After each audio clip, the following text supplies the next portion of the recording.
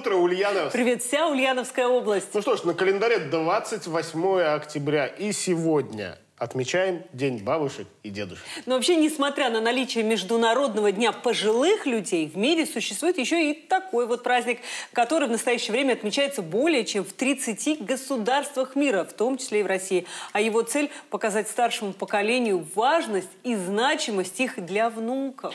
Выбрана эта дата не случайно, ведь именно в конце второго осеннего месяца у древних славян отмечались осенние деды. Праздник, призванный укрепить связь с предками и объединить все поколения. Ну, интересно, что в России еще отдельно также отмечается День бабушек 26 мая и День дедушек 22 января. А вот, например, в Соединенных Штатах Америки 23 июля отмечают Национальный день великолепной бабушки. Отдельный праздник бабушек есть и в Германии. Там его отмечают во второе воскресенье октября. В 2021 году это 10 октября.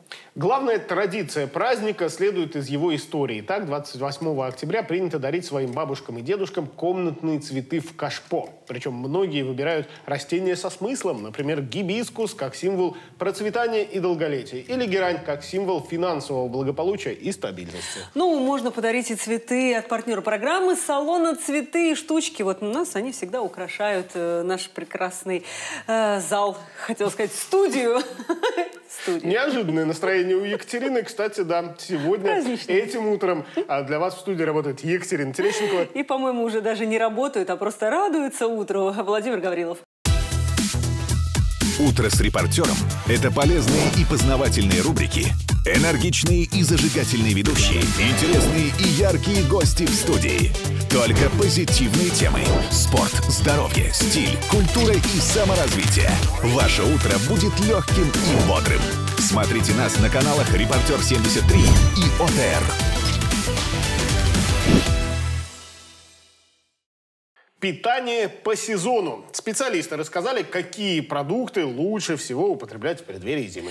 В октябре сезон местных фруктов постепенно заканчивается, и на первый план выходят осенне-зимние ягоды. Брусника, клюква, облепиха, боярышник, бузина, шиповник и калина. Все они обладают целебными свойствами, содержат много полезных веществ, которые помогут укрепить организм перед холодами.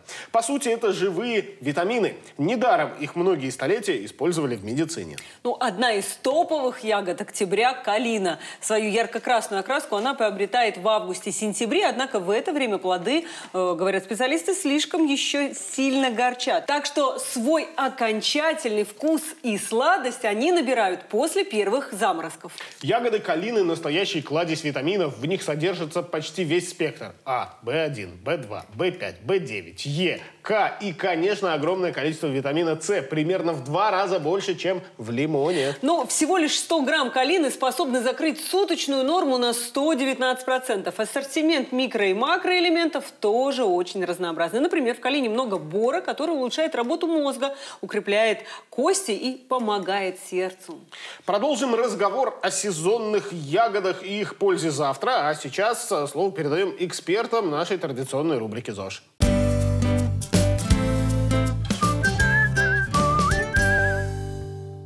Доброе утро, меня зовут Денисова Екатерина. Я тренер групповых программ и персональный тренер фитнес-клуба.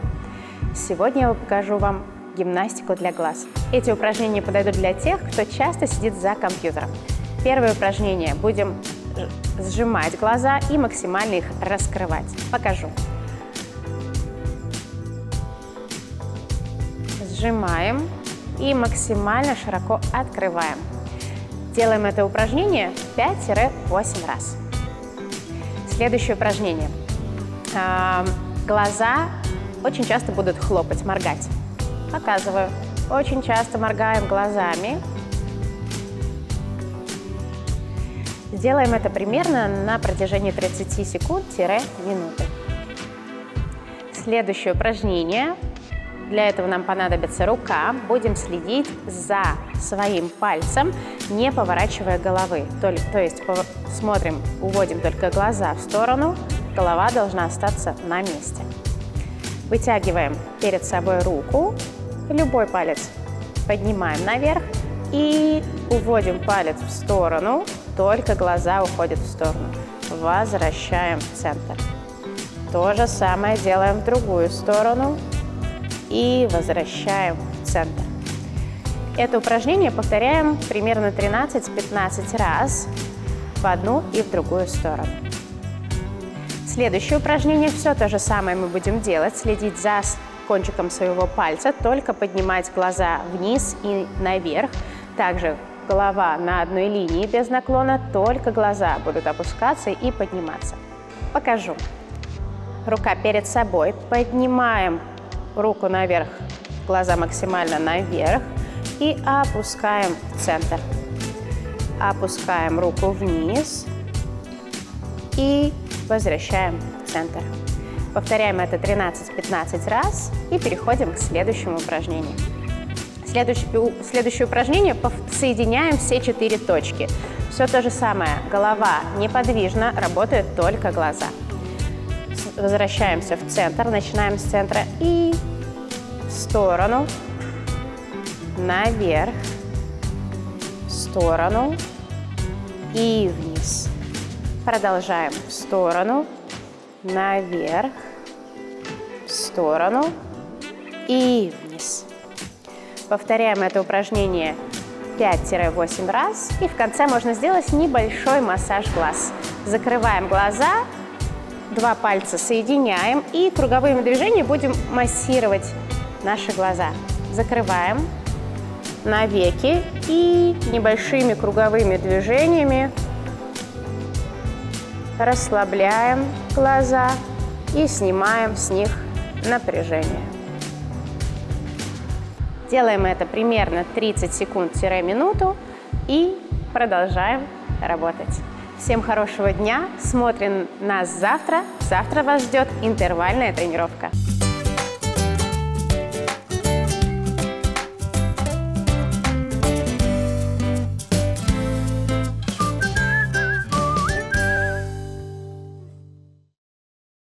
Полторы тысячи жителей Ульяновской области улучшат жилищные условия за счет бюджета. Региональное правительство одобрило проект бюджета на 2022 год. Доходы составят почти 73 миллиарда, а расходы 78 миллиардов. Документ остается социально ориентированным. Более 70% расходов пойдут на социальную сферу. На реализацию национального проекта «Жилье и городская среда» в Ульяновской области в следующем году направят более полутора миллиардов рублей. При этом увеличится финансирование и на переселение граждан из аварийного жилья. Таким образом, до конца 2023 года свои жилищные условия улучшат 1446 жителей Ульяновской области.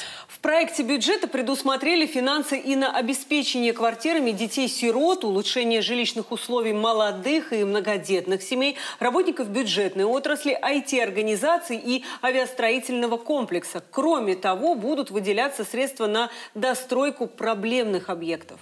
Также регион получит деньги на развитие жилых микрорайонов по программе «Стимул». Благодаря этому в Ульяновске завершат возведение детского сада по улице Шигаева на 160 мест и построят 5 дорог, а в Димитровграде – 2. Выполнит техническое присоединение многоквартирных домов к системам теплоснабжения, холодного водоснабжения и водоотведения. А главном рубрика с таким названием продолжит эфир.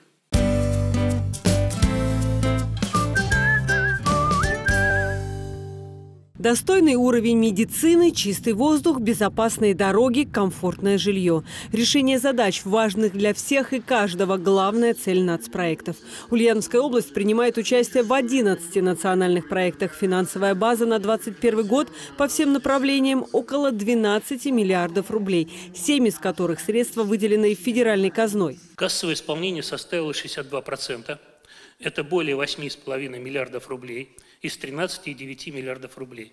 Это лучше, чем год назад и выше средних значений по России и Приволжскому федеральному округу. На 1 октября уже заключено более 1300 контрактов, но есть сферы, отстающие от графика в плане освоения бюджета. За два месяца, оставшихся до конца года, деньги необходимо вложить в проекты. Насколько мне известно, у нас есть ряд проектов, по которым процедуры еще не завершены. Напомню, что по поручению Михаила Владимировича Мишустина все неосвоенные и не законтактованные до 1 декабря денежные средства по нацпроектам будут перечислены в резервный фонд правительства Российской Федерации. Самой проблемной сферой оказалось здравоохранение. Критическое положение обуславливается пандемией. А вот у культуры ситуация лучше. Хоть и не все задуманное удается выполнить в срок. На сегодняшний день у нас остается пока еще незаконченными капитальные ремонты в детских школах искусств, но мы эти процедуры тоже завершаем. А, вы знаете да, о том, что в детской школе искусств номер 10 с не очень добросовестным подрядчиком сложилась сложная ситуация. В Новом Лыкинской школе контракт также был продлен. Хорошие показатели в нацпроекте «Безопасные качественные дороги». Главная задача до 2024 года – привести в нормативное состояние 50% региональных и 85% дорог Ульяновской городской агломерации. Для этого на 2021 год у нас запланировано ремонт более 160 километров дорог, это порядка 59 объектов. В настоящее время мы находимся на финишной прямой. Общий процент э, готовности составляет порядка 95%. Практически весь объем по асфальтовым работам у нас завершен. И в настоящее время подрядная организация заканчивает работу по обустройству, укреплению обочин, установке дополнительных мероприятий по безопасности дорожного движения и оформлению исполнительной документации. Что общего между дорогой и медициной? Человеческая жизнь. По программе «Безопасные и качественные дороги» в Ульяновской области клинический центр специализированных видов медицинской помощи поступило новое оборудование для оперирования, в том числе людей, пострадавших в ДТП и оказания экстренной помощи в противошоковом блоке. Очень ну, внимательные, обходительные люди. И как-то относятся они с, с душой к людям. Вот я не слышал, чтобы на кого-то там кричали, кричали, ну, что-то там. Наоборот, больные иногда, ну, психуют, представляете, боли ужасные, сильные. Вячеславу Ивановичу есть чем сравнивать. Недуг беспокоит его многие годы. В этот раз мужчина попал в БСМП с диабетической ногой, не мог ходить. Через месяц терапии стало легче, но до сих пор пациент под строгим наблюдением врачей. Сейчас ничего не болит? Нет. Ну все, Сегодня выписываем домой. Внимание уделить нужно всем. Ничего не упустить, вовремя оказать помощь. Не потерять заветных минут, а порой и секунд. Сюда поступают с тяжелыми травмами, в том числе и пострадавшие после ДТП. Доставить такого больного от приемного отделения до противошокового блока медики должны менее чем за 30 секунд. Если раньше мы оказывали помощь 420 тысячам человек, которые проживают здесь, то плюс к этому прибавилось для побережья это еще 200 тысяч. Соответственно, нагрузка возросла как минимум в полтора раза. Работают на пределе возможностей не только в ковидных госпиталях. Вывозить тяжело не только людям из строя. Порой выходит и техника. Потерянное время может стоить жизни. Поэтому старое оборудование заменили новым, облегчив работу медикам и увеличив возможность сохранить здоровье пациентов, находящихся даже в самом критическом состоянии. 7 миллионов рублей на портативный УЗИ-аппарат, видеоларингоскоп, наркозно-дыхательный и рентгеновский аппарат. Результативность работы увеличилась. Неоспоримый факт, отмечают медики. Смертность от дорожно-транспортных происшествий, тяжелой сочетной травмы у нас ежегодно снижается в нашем лечебном учреждении. Мы стараемся все-таки забирать всех пациентов из районных больниц. Забирают и спасают, применяя все ресурсы – человеческие и технические. За этот год врачам больницы удалось успешно провести более 13 тысяч операций.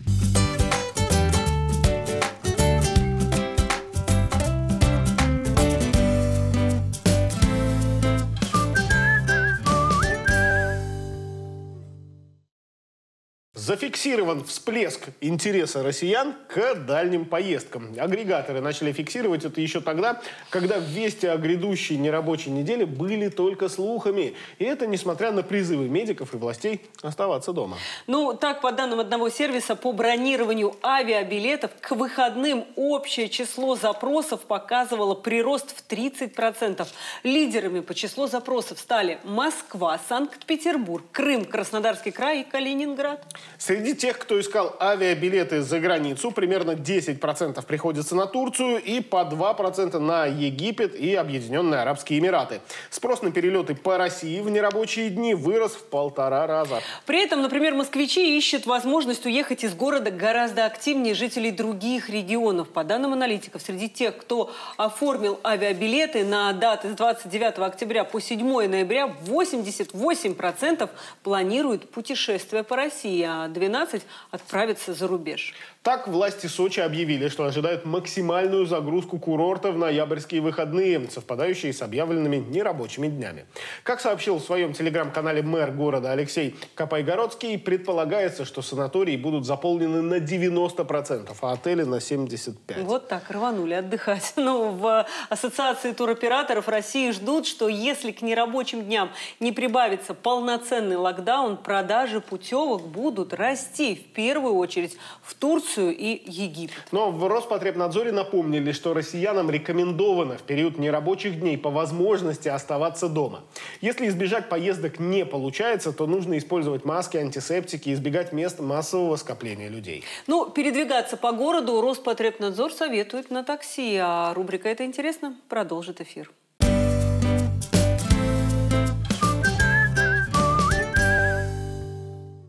Эта выставка для юной художницы Арины Алиуловой уже вторая по счету. Персональная, премьерная состоялась еще в 2019-м под названием «А плюс А». Тогда в детском музейном центре она представляла свои работы вместе с Арсением Пятницыным. Сегодня на выставке Арины можно увидеть ее работы разной жанровой направленности. Я люблю писать натюрморт, натюрморты, пейзажи, также людей иногда – я люблю пробовать разные техники. Акварель, гуашь, акрил, пастель. Но больше всего у меня любимая техника акварель. Выпускница детской школы искусств, девочка занимается рисованием с самого раннего возраста. Увлеченная живописью, она вдохновила и маму заниматься творчеством. Люблю природу, гиперреализм, цветы люблю. Меня это вдохновляет. А главное вдохновение – это семья. Любовь Алиулова вспоминает, писать картины мечтала еще в детстве, но реализовать мечту получилось только сейчас. Чем больше я пишу картины, тем больше я углубляюсь в это, и тем больше мне начинает это нравиться. Горизонты растут, э, требования от себя тоже растут. Хочется э, картины писать все ярче, интереснее, глубже. У Любови и Арины Алиуловых настоящее семейное творчество. Мама и дочь вместе пишут картины, отправляются на пленеры, а сегодня выставляют свои работы на совместной выставке. Познакомиться с произведениями Алиуловых можно в детском музейном центре. Выставка будет работать до 11 января. Екатерина Терещенкова, Юрий Тимонин, репортер 73.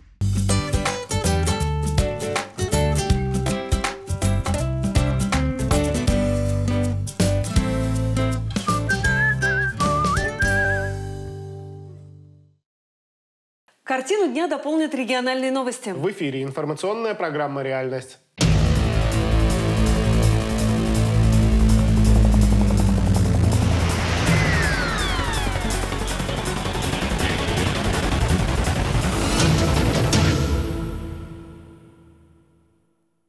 Родной медицине доверяю, потому что вариантов других, собственно говоря, нет. И считаю, да, делать надо сразу обе, потому что если на ковид еще наложится и грипп, это будет вдвойне плохо. Осознанный подход «Путь к здоровью» Денис Штылев без опасений пошел на прививку как от ковида, так и от гриппа. Решительных мало. В обществе поползли тревожные слухи. Много побочек, непроверенная практика. Ранее зарубежные российские эксперты утверждали, между прививками должно пройти минимум две недели. Сначала необходимо сделать полный курс иммунизации от коронавируса и только потом вакцинироваться от гриппа. Сейчас все изменилось, и теперь два укола можно делать сразу. Проводились клинические исследования про э, возможность э, параллельного использования вакцины против гриппа и против коронавируса. Я знал еще полгода назад потихоньку в научных э, изданиях всплывала, всплывала информация. Доказано, вреда от соединения двух вакцин для человека нет. Наоборот, это мощнейшая защита от возможных осложнений. Ведь если на ковид наложится грипп, последствия будут куда хуже. И на изучение нового штамма уйдет больше времени. после э, любой вакцины может быть повышение температур, и это нормально. Это ответ э, иммунитета, поэтому этого не нужно пугаться. Как в том мультике. Бегемот, который боялся прививки. Поэтому без страха, доверяя врачам, ульяновцы подставляют плечи. Важное условие двойной вакцинации – укол нужно делать в разные части тела. Подбираются специальные дозы, и сами прививки создаются так, чтобы не подавляли свойства друг друга, а наоборот, усиливали эффект. Решилась, что будет, то будет. Хорошо, спасибо, что сразу сделали две прививки. Желающих много. У медиков в специализированных пунктах увеличился рабочий день. Вместо четырех теперь людей принимают шесть часов подряд. Тяжело, но сил хватает, признаются врачи. Хватило бы вакцины. Все это время фиксировался дефицит препаратов. Сейчас этот вопрос постепенно решается. Здесь, в специальной комнате, где соблюдается температурный режим, хранится новый транш э, препарата от гриппа для детей. Для взрослых этот препарат тоже есть. Его завезли чуть раньше. 156 тысяч доз препарата для детских поликлиник. По учреждениям и в пункты вакцинации ампулы развозят постепенно. Для хранения прививок необходимы специальные условия. Маргарита Мутюшинская, Геннадий Бухтаяров, репортер 73. По-другому. В кабинете Любови Ешковой особая аура – неповторимая химия. У всех восприятие разное. То есть кто-то прочитал и все запомнил. Кому-то рассказали, он тоже все запомнил, а кому-то нужно ручками что-то сделать, чтобы запомнить. После того, как ребенок вот опыт уже сделал, он запомнит его на всю оставшуюся жизнь. Вот они как раз... Ох, красота. Это что? Да и сама Любовь Михайловна из категории запоминающихся педагогов, тех, которые от Бога и на всю жизнь. Профильные классы 42-й общеобразовательный, который ведет, съезжаются школьники не только Заволжского района, со всего города. Не менее 75% выпускников успешно преодолевают ЕГЭ-препоны и поступают в престижные вузы страны. Дети помладше, побывав на химических мастер-классах, заносят заслуженного учителя России в ранг волшебников. Учительница начальной школы подошла ко мне и смеется. Говорит, Дети мне сказали, что эта тетя, наверное, очень хорошо живет. Я говорю, не поняла. Никогда такой вывод не делали.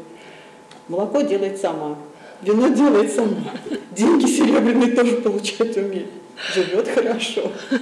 И наград удостаивается хороших, федерального уровня, а главное – внезапных. На получение престижной премии «Исток» за достижение в развитии естественных наук никаких документов не готовила. Все сделали без нее, так сказать, анонимно.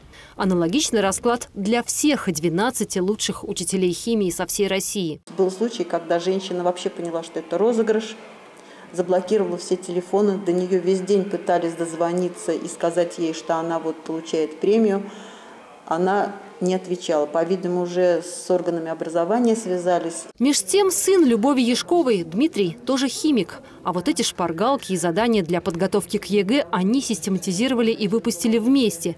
И хотя единый государственный маячит ближе к лету, готовить сани с багажом знаний начали с первых же учебных дней. Это и очные занятия, и химия онлайн. Сама по себе химия интересна, и увлекательно, особенно опыты, особенно практически. Это вообще сказка. Пообщавшись с Любовью Михайловной буквально полчаса, я поняла, что тоже кое-что могу. Итак, что мы имеем? Три пустых вот таких вот стаканчика. Пустые стаканчики. Сейчас тоже покажу. И вода. Водичка, прозрачная, все как полагается. Сейчас мы будем ее наливать.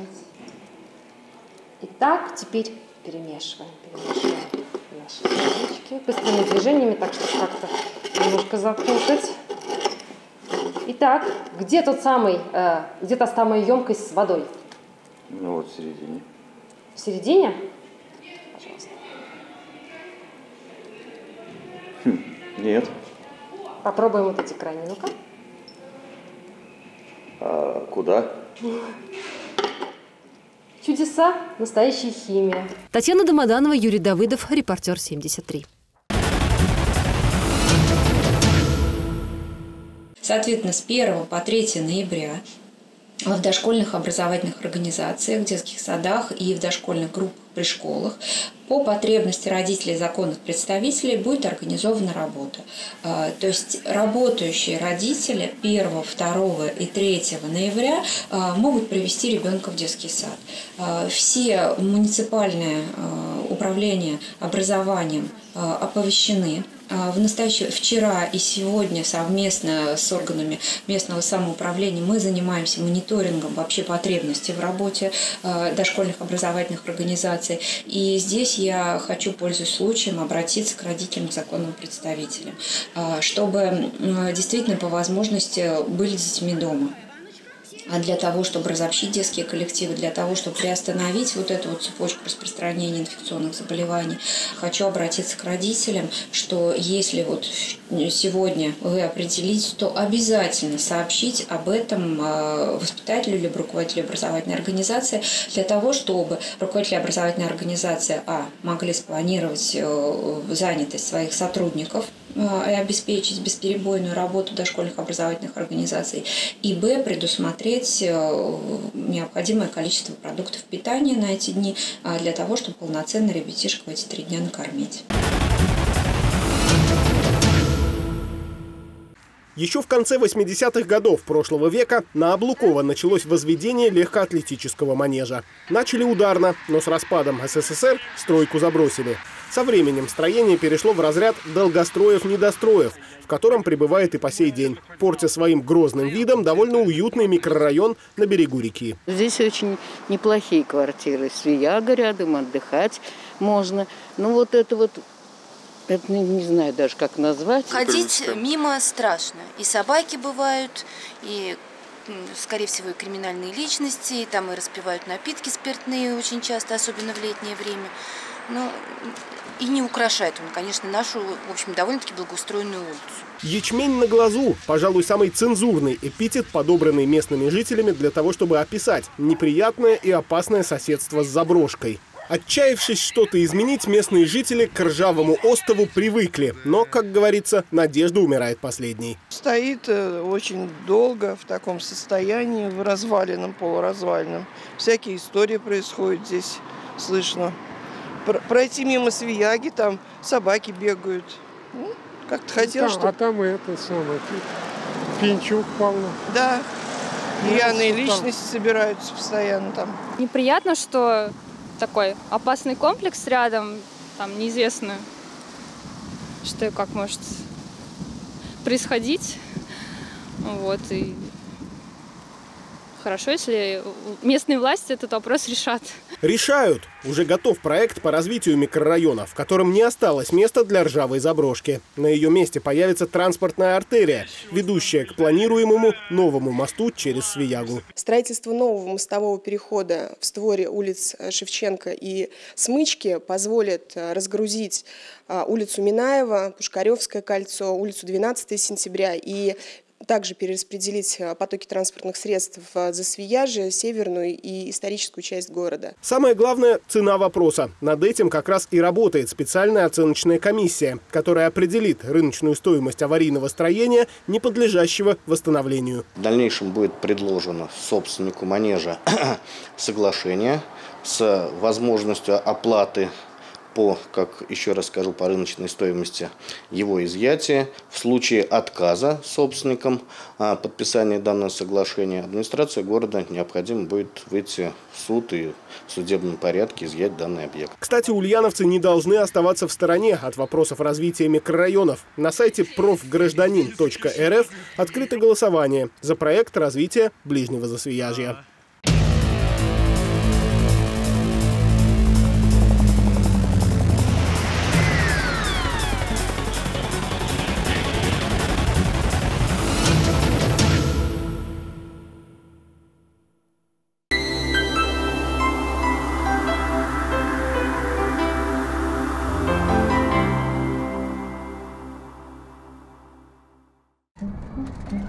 Сколько времени нужно, чтобы научить детей быть хорошими пассажирами? Что в автомобиле нужно вести себя спокойно, пристегиваться. А ремнем или в кресле зависит от роста или веса. Не так много. Дети быстро все схватывают. А сколько времени нужно вам, чтобы понять, что безопасность своего ребенка можете обеспечить только вы?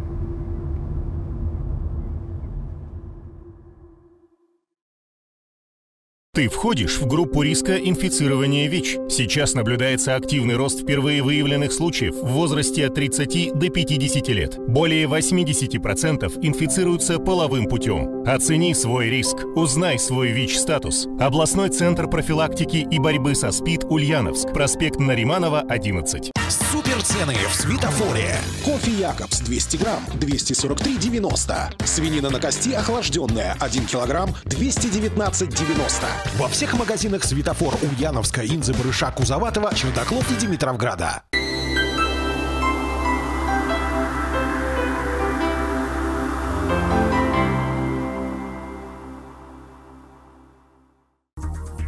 «298 соглашений о темпах роста оплаты труда подписаны в Ульяновской области. За неделю с 11 по 15 октября 119 предприятий выразили готовность увеличить зарплаты сотрудникам.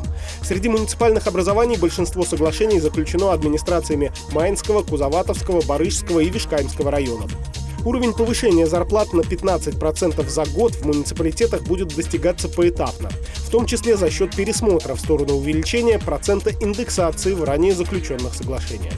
Темпы роста средней номинальной зарплаты в Ульяновской области за январь-июль составляют 110,2% к периоду 2020 года. Прирост на 10,2%. Работа по доведению уровня средней зарплаты в Ульяновской области до среднероссийских показателей будет продолжена на системной основе. По данным сайта Гисметео, 28 октября в Ульяновске пасмурно. Температура воздуха по области ночью от плюс 2 до плюс 6, днем плюс 5-9 градусов. В городе температура воздуха ночью плюс 3-5, днем 6-8 выше 0. Ветер преимущественно западный 5-6 метров в секунду. Атмосферное давление 747 миллиметров ртутного столба.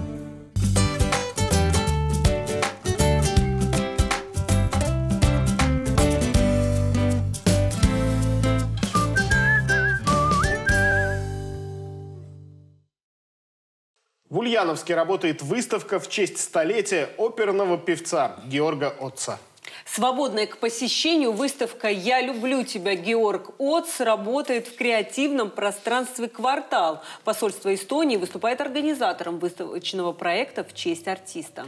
На выставке в Ульяновске представлены редкие концертные афиши, собранные в период гастрольных выступлений Георга Отца, а также письма поклонниц из разных уголков Советского Союза. Осмотр плакатов и писем сопровождают записи выступлений певца и фрагменты интервью людей, знакомых с артистом. В квартале выставка продлится до 31 октября. Уже с 3 по 21 ноября выставка будет доступна к посещению в Димитровградском креативном пространстве «Горизонт». Тему культуры в нашем утреннем эфире продолжит Ярослав Щедров. Ему слово.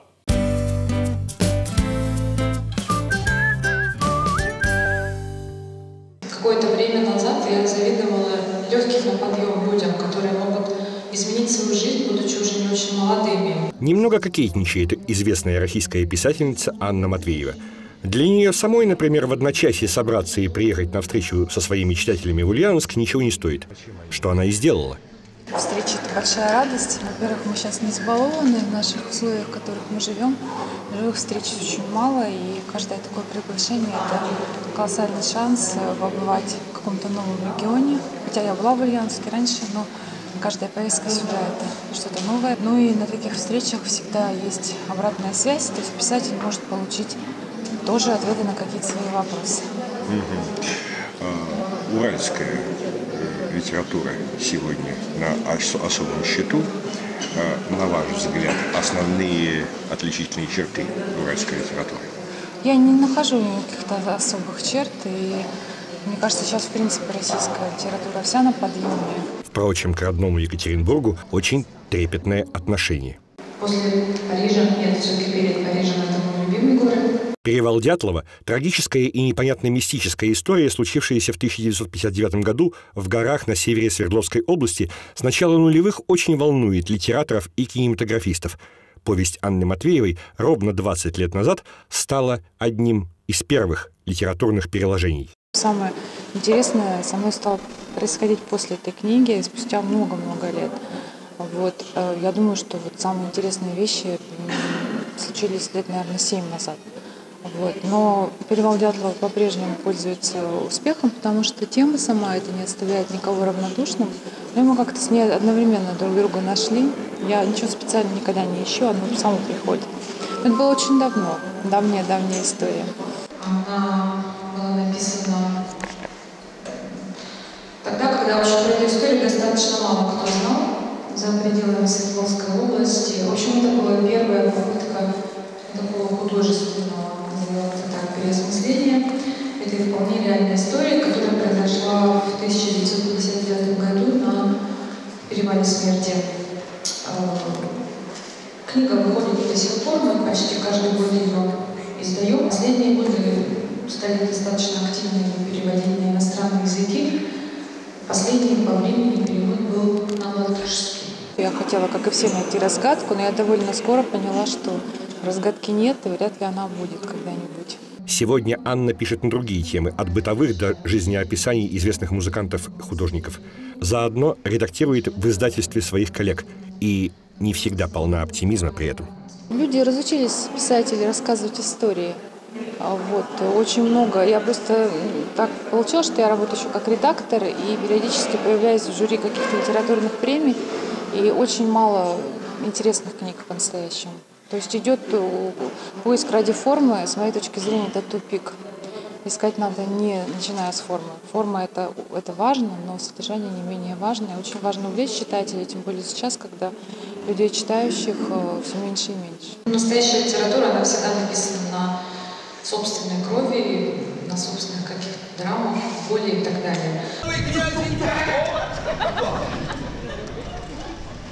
Побывавший не так давно в Ульяновске с интерпризным спектаклем «Шальные деньги» актер театра и кино Борис Хвашнянский – выученик Питерской театральной школы, хотя работает на телевидении и в кино нынче преимущественно в Москве. Разница когда-то была ну, совсем очевидна, сейчас я уже в силу привычки э, так не считаю, потому что есть возможность э, приспособиться и творчески, и Э, с разных других сторон. Э, перемещение Питер-Москва меня уже давно не смущают. Я вот все жду наступления часа, когда от этого можно будет или придется устать. Но пока я дорожу теми предложениями, которые есть.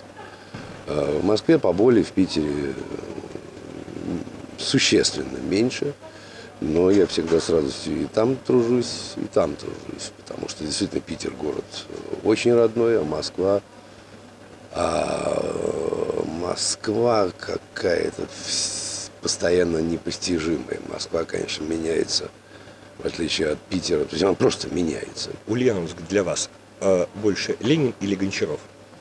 Ну, Ленин, разумеется. Я знаю, где Гончаров проживал. Однако, да, Владимир Ильич. Практически с первого появления на экране Борису Анатольевичу упорно приписывают некоторые сходства с голливудской кинозвездой Робертом Дауни-младшим. С вашей харизмой, с вашей статью, с вашей внешностью. Вы тоже заметили, что она есть? Есть. А, все-таки, может, уже подвинуть а Дауни? Да слушайте, пусть он выбирается сюда и попробует сместить меня. Это его проблема. Я двигать никого не буду. А попробовать там? Э, я, да нет, это не имеет перспективы. Я даже, ну, это не имеет смысла обсуждать.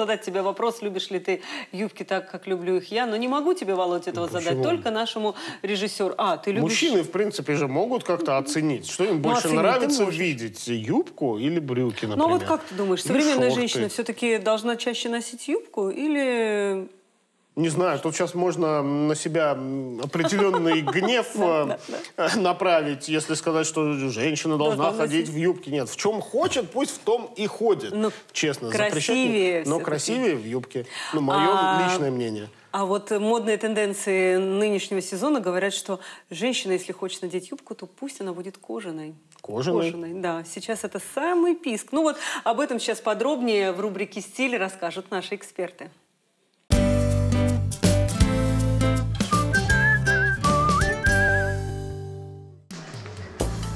Доброе утро!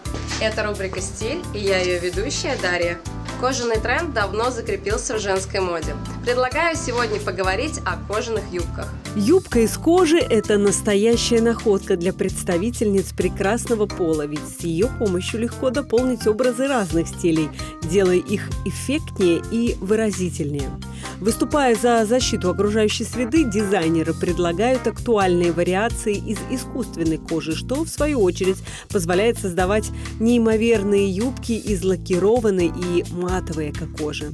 Кожаная юбка давно перестала ассоциироваться с дерзким образом. Стильная и лаконичная она может вписываться в офисный лук. Присмотрев себе стильную кожаную юбку-карандаш, стоит первоначально обдумать весь образ целиком и определиться, с чем и как ее комбинировать.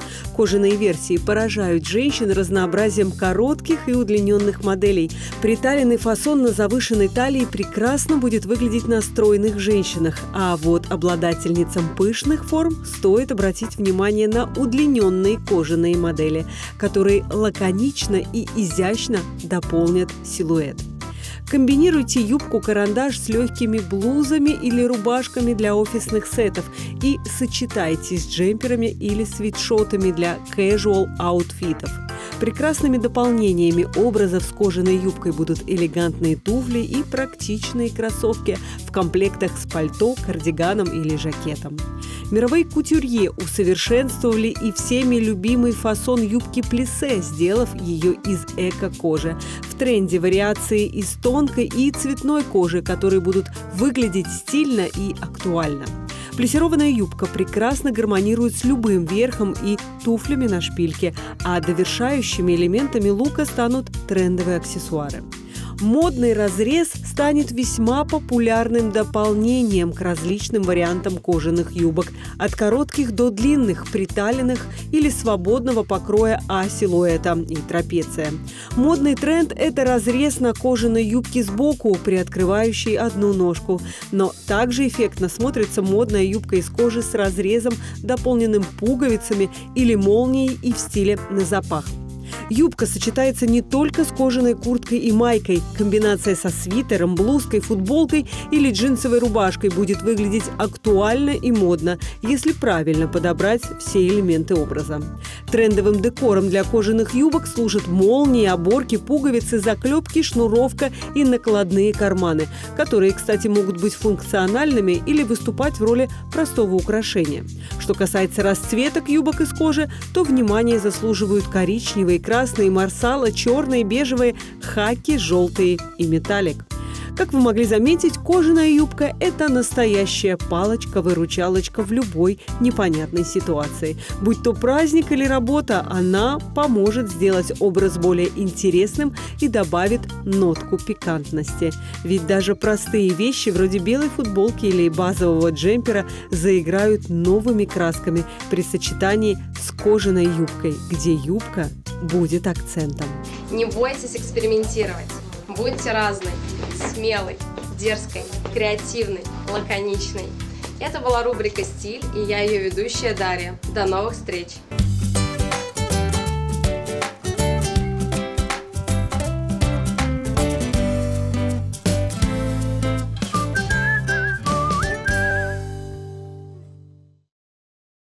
Доброе утро, и мы продолжаем. И сегодня будем вновь говорить о волонтерах, и не только о волонтерах культуры. Почему? Потому что наш регион может гордиться. Мы вот такие вот молодцы, и наш опыт с удовольствием транслируют на другие регионы. Ну, можем не то чтобы похвастаться, хотя и похвастаться тоже можем. Сейчас обо всем поговорим с э, нашими утренними гостями. Сегодня в студии у нас Мария Баханок, заведующая отделом внешних связей и коммуникации Ульяновского областного краеведческого музея, и Алена Килина, тренинг-менеджер образовательных программ Центра мобильности волонтеров, Управления организацией событийных и международных программ Ассоциации волонтерских центров. Ух. Здравствуйте. Доброе, Доброе утро. утро. Доброе, утро. Мощно так, масштабно, масштабно. Ответственности столько же, сколько э, слов в э, регалиях? Да, примерно столько же, потому что мы э, работаем в рамках э, федерального проекта «Социальная активность», нацпроекта образования, и это накладывает определенные да, для, на нас обязанности быть э, в максимуме в масштабе. Тогда немножко, прям, может быть, пару слов, а, что за центр мобильности волонтеров, а, куда их, я так понимаю, мобильность это же взять, куда-то перевести, перенести что-то новое и как-то взаимодействовать между, может быть, э, я не знаю, культурными учреждениями или прям даже регионами? Ну, если вкратце, мы э, находимся в Ассоциации волонтерских центров. Это крупнейшая организация в России. У нас более 160 членов организации по всем регионам. И в рамках э, нашей работы мы обеспечиваем да, реализацию программы мобильности волонтеров. Мы отправляем волонтеров на крупные международные события в России и за рубеж. Это наши опытные ребята, волонтеры по определенным требованиям, критериям, которые подходят событиям. А, службы атташе, сопровождение иностранных делегаций или работа на стадионах. Ну, разного-разного вида творческих э, да, волонтерских задач. А, мы отправляем их, набираем а, из э, числа всех волонтеров, которые хотят подать заявку, а, и, соответственно, лучшие едут на эти события. Плюс мы также реализуем вот образовательные стажировки, обучающие программы на территории регионов и на территории ведущих некоммерческих организаций, которым есть чему поделиться с другими организациями, с сотрудниками, которые приезжают забирать опыт и тиражировать его к себе в регион. То есть э, таким образом обмениваем практиками, друг с другом, и у них выравнивается знание про волонтерство, про то, как развивать, про какие-то структуры, про самые интересные практики, методики и технологии. Плюс мы отправляем волонтеров на чрезвычайные ситуации, на различные подтопления, либо пожары, лесные пожары, да, совместно с Всероссийским студенческим корпусом спасателей. Туда едут э, подготовленные ребята, мы обеспечиваем им трансфер, проживание, питание на время того, как они помогают населению в трудных ситуациях. И отправляем людей на поиск пропавших детей в трудные зоны. А, туда едут тоже профессионалы, туда едут координаторы поисковых групп, а, выстраивать работу с местным населением так, чтобы это было максимально эффективно, комфортно и быстрее найти детей, спасти жизнь. Вот а, таким образом мы отправляем, тоже помогаем мобильно переместиться группам по России. И четвертое направление открылось в этом году, последнее завершающее, да, но надеюсь, что будут еще появиться новые. Это экологические направления, экологические смены на территориях заповедников и национальных парках. Туда выезжают эко-волонтеры, помогают, соответственно, сотрудникам этих заповедников. Угу. Вот Здорово. вкратце так. Цель прибытия в Ульяновск. Что это будет, что за организованное э, совместное такое мероприятие? Обмениваемся опытом, делимся или вот да, и получается так, что на самом деле Ассоциация волонтерских центров проводит э, конкурс для проведения стажировок. То есть нужно подать так заявку, пройти отборочный тур. Мы это все сделали. Мы на самом деле дважды подавались. Первый раз мы не прошли. да, это было, мне кажется, весной. Мы не смогли пройти. Мы переписали заявку, еще раз перечитали требования, поняли, где наши ошибки. И уже так более, наверное, качественно проработали всю программу и отправили. И вот в первых числах сентября, если я не ошибаюсь, нам пришла информация о том, что мы победили в этом конкурсе, и теперь мы примем у себя э, гостей из, э, ну, из 20, наверное, регионов, да, э, потому что 20 участников со всей России. Ну, из самого дальнего это Хабаровский край, Амурская область, если я не ошибаюсь, да, вот это гости, которые к нам сегодня приехали и уже сейчас в музее Гончарова обучаются. То есть мы с ними будем делиться именно нашим да. наработанным опытом? Вот. Да, вот тот опыт, который за два года существования нашего волонтерского центра на базе музея мы наработали, мы смогли Ассоциации волонтерских центров доказать, что мы готовы поделиться. Мы прошли тот путь, наверное, проб и ошибок. Где-то у нас были проблемы, мы неоднократно рассказывали вам об этом, да, и когда мы выезжали э, на объекты культурного наследия, мы сталкивались, мы погрузились в те темы, в которых, возможно, мы не очень тогда разбирались. И вот эта вот история про то, что когда ты входишь, а потом начинаешь, возможно, да, разбираться, вот это вот мы все э, со всем этим будем делиться с нашими коллегами, потому что это э, в основном работники учреждений культуры, библиотеки, музеи, музеи, дома культуры, те, кто делает, э, такие организует, наверное, волонтерские акции и вообще волонтерские центры э, в сфере культуры. И нашими вот такими основными, наверное, направлениями, с которыми мы будем делиться, это то, что с чем мы выигрывали гранты, это Ульяновск город трудовой доблести, сохраним память, мы расскажем, как мы этот э, проект выиграли, как мы его реализовывали вместе с волонтерами, естественно, про объекты культурного наследия, про то, как мы выезжали в районы, обучали э, сотрудников музеев, а также волонтеров. Вот эти все проекты мы от начала до конца вместе с нашими гостями пройдем. Возможно, кто-то из них возьмет и на вооружение и будет внедрять у себя. Мы очень надеемся. Ну а так мы будем работать 6 дней. Вот сегодняшнего, да, сегодня первый день и до субботы включительно. В основном это все будет на базе историко-мемориального центра музея Гончарова. Здесь рядышком с вами. Но у нас запланировано два выезда. Мы будем выезжать э, в Кузоватово и Вундеры. Э, да, и где будем в Вундерах мы пройдем, конечно, палеонтологические вот эти раскопки вместе с Ильей Михайловичем Стеншином и все. Потом вернемся в музей к нему и будем в лаборатории работать. Все так, как работают волонтеры на базе э, палеонтологического музея. То есть нужно прям погрузиться в деятельность волонтера, чтобы понять, как и что внедрять. Это вот про то, что когда я начала этим заниматься, помните, поехала приехала э, в Москву, погрузилась и стала у московских волонтеров спрашивать, ребят, зачем вы вообще ходите в музей, зачем вам надо? И вот тогда стало понятно, для чего это делать. Вот мне кажется, что здесь примерно то же самое. Как раз нужно погрузиться и в волонтерскую деятельность на месте, и понять вот те ошибки, с которыми мы сталкивались, э, когда реализовывали эти проекты. Когда мы поедем в Кузоватово, то там мы будем проходить как раз мастер-классы про э, резьбу по дереву. Угу. Мы это тоже, помните, проводили, да, да, да, да, да, и мы хотим тоже это все показать, что это возможно делать, и это интересно, и интересно и с точки зрения волонтерской деятельности, потому что это прям, ну и вообще это погружение в, в историю, культуру. Мне вообще кажется, что волонтеры культуры — это такая тема про не только про помощь, но и погружение человека, вот как раз то, что я сказала, истории культуры родного региона. Мы приобщаем к этой теме через добровольчество. Потому не просто навязываем, приходите в музей, а говорим, давайте, давайте вместе с нами знакомьтесь с нашей профессией, давайте вместе с нами реализовывать проекты. Тогда и есть такое какое-то ну, погружение и интерес вызывает, когда я сам тоже могу в этом принять участие и помочь что-то реализовать. Ну, это хороший... Да, да, да, наверное, вот это объединение усилий. Человек наконец-то на музей даже смотрит с другой стороны. Потому что, ну, не просто прийти и посмотреть, а принять участие, какой-то свой проект предложить, и оказывается, можно.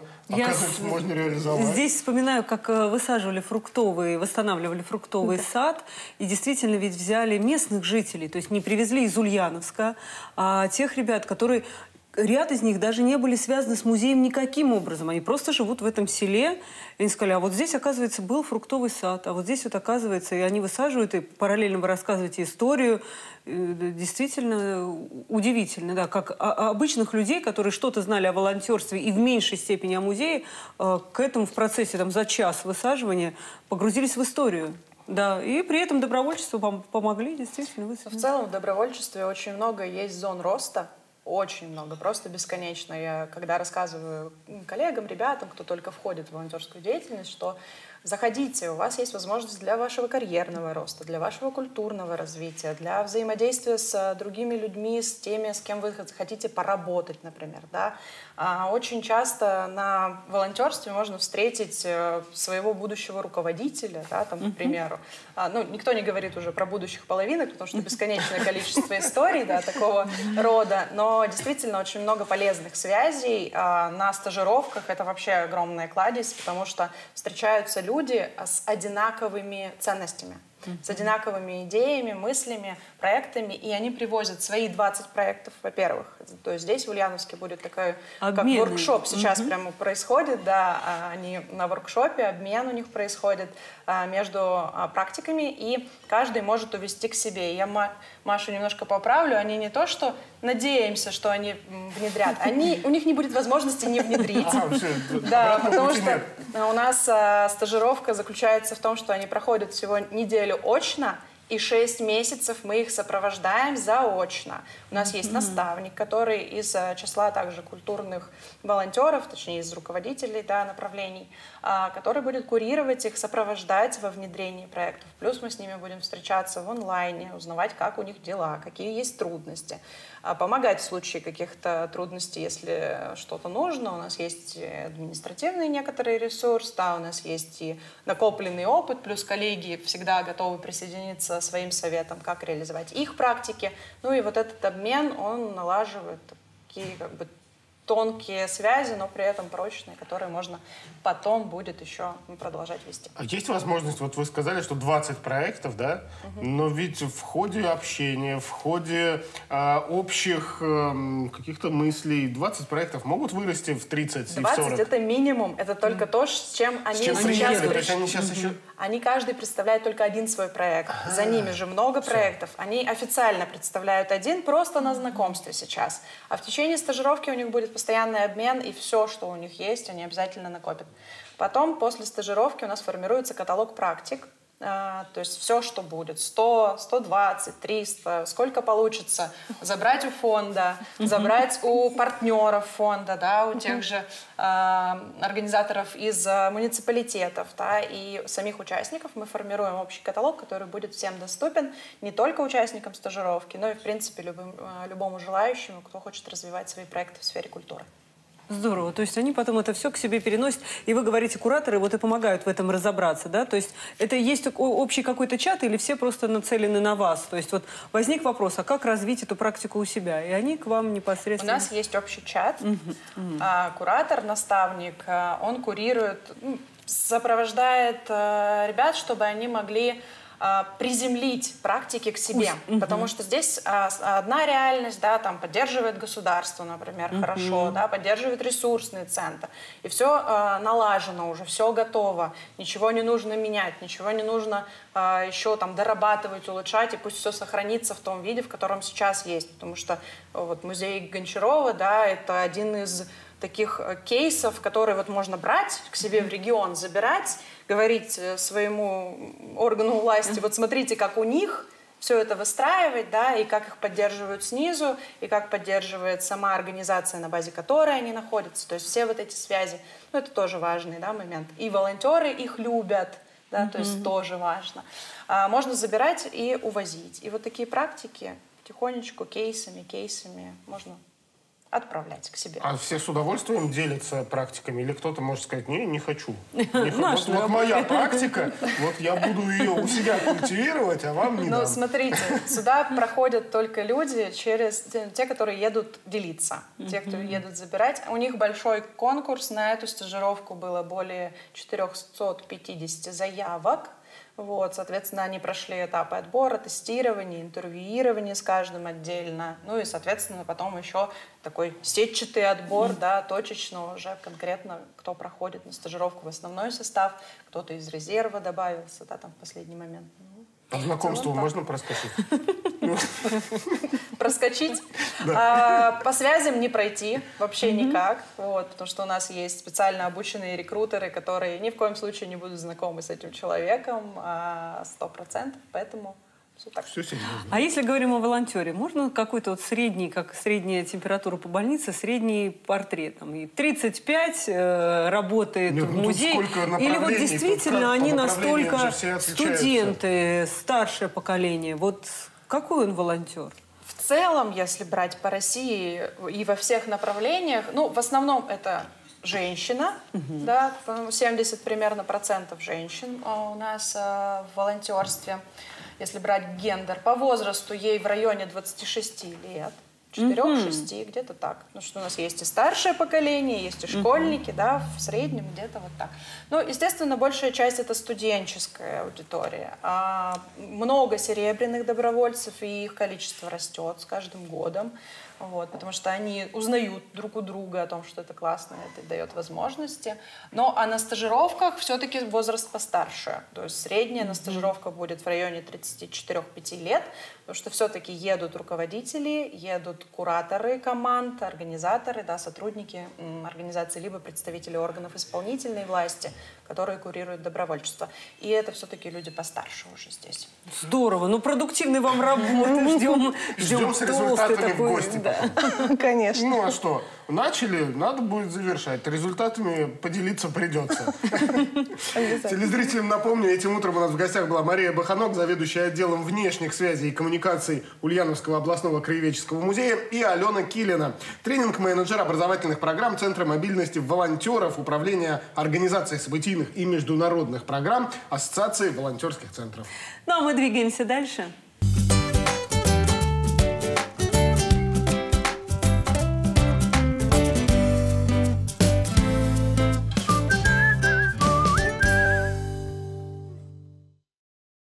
Питание по сезону. Специалисты рассказали, какие продукты лучше всего употреблять в преддверии зимы. В октябре сезон местных фруктов постепенно заканчивается, и на первый план выходят осенние зимние ягоды. Брусника, клюква, облепиха, боярышник, бузина, шиповник и калина. Все они обладают целебными свойствами, содержат много полезных веществ, которые помогут укрепить организм перед холодами. По сути, это живые витамины. Недаром их многие столетия использовали в медицине. Ну, одна из топовых ягод октября – калина. Свою ярко-красную окраску она приобретает в августе-сентябре, однако в это время плоды, э, говорят специалисты, слишком еще сильно горчат. Так что свой окончательный вкус и сладость они набирают после первых заморозков. Ягоды калины – настоящий кладезь витаминов. В них содержится почти весь спектр. А, В1, В2, В5, В9, Е, К и, конечно, огромное количество витамина С. Примерно в два раза больше, чем в лимоне. Но всего лишь 100 грамм калины способны закрыть суточную норму на 119%. Ассортимент микро- и макроэлементов тоже очень разнообразный. Например, в калине много бора, который улучшает работу мозга, укрепляет кости и помогает сердцу. Продолжим разговор о сезонных ягодах и их пользе завтра. А сейчас э, слово передаем экспертам нашей традиционной рубрики ЗОЖ.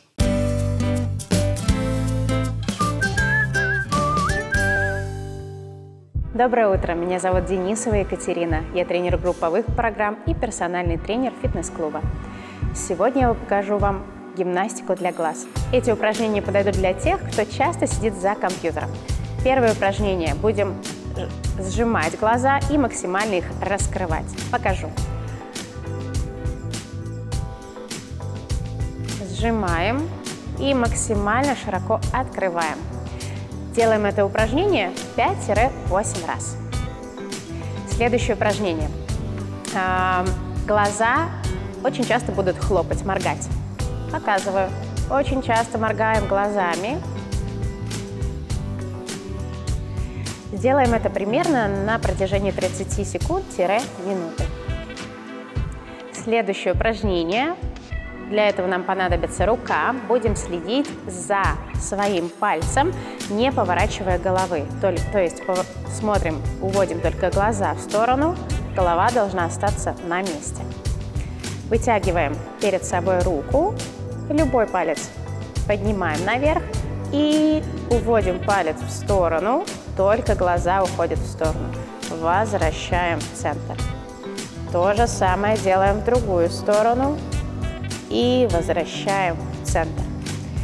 Это упражнение повторяем примерно 13-15 раз в одну и в другую сторону. Следующее упражнение, все то же самое мы будем делать, следить за кончиком своего пальца, только поднимать глаза вниз и наверх. Также голова на одной линии без наклона, только глаза будут опускаться и подниматься. Покажу. Рука перед собой, поднимаем руку наверх, глаза максимально наверх и опускаем в центр. Опускаем руку вниз и возвращаем в центр. Повторяем это 13-15 раз и переходим к следующему упражнению. Следующее, следующее упражнение соединяем все четыре точки. Все то же самое. Голова неподвижна, работают только глаза. Возвращаемся в центр, начинаем с центра и в сторону, наверх, в сторону и вниз. Продолжаем в сторону, наверх, в сторону и вниз. Повторяем это упражнение 5-8 раз. И в конце можно сделать небольшой массаж глаз. Закрываем глаза, два пальца соединяем и круговыми движениями будем массировать наши глаза. Закрываем на веки и небольшими круговыми движениями расслабляем глаза и снимаем с них напряжение. Делаем это примерно 30 секунд-минуту и продолжаем работать. Всем хорошего дня, смотрим нас завтра. Завтра вас ждет интервальная тренировка.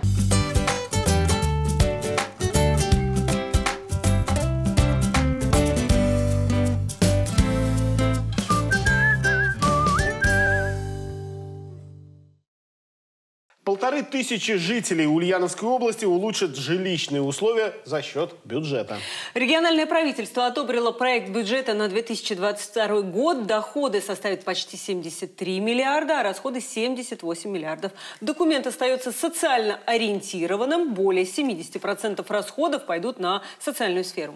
На реализацию национального проекта «Жилье и городская среда» в Ульяновской области в следующем году направят более полутора миллиардов рублей. При этом увеличится финансирование и на переселение граждан из аварийного жилья. Таким образом, до конца 2023 года свои жилищные условия улучшат 1446 жителей Ульяновской области. В проекте бюджета предусмотрели финансы и на обеспечение квартирами детей-сирот, улучшение жилищных условий молодых и многодетных семей, работников бюджетной отрасли, IT-организаций и авиастроительного комплекса. Кроме того, будут выделяться средства на достройку проблемных объектов. Также регион получит деньги на развитие жилых микрорайонов по программе «Стимул». Благодаря этому в Ульяновске завершат возведение детского сада по улице Шигаева на 160 мест и построят 5 дорог, а в Димитровграде – 2. Выполнит техническое присоединение многоквартирных домов к системам теплоснабжения, холодного водоснабжения и водоотведения. О главном рубрика с таким названием продолжит эфир.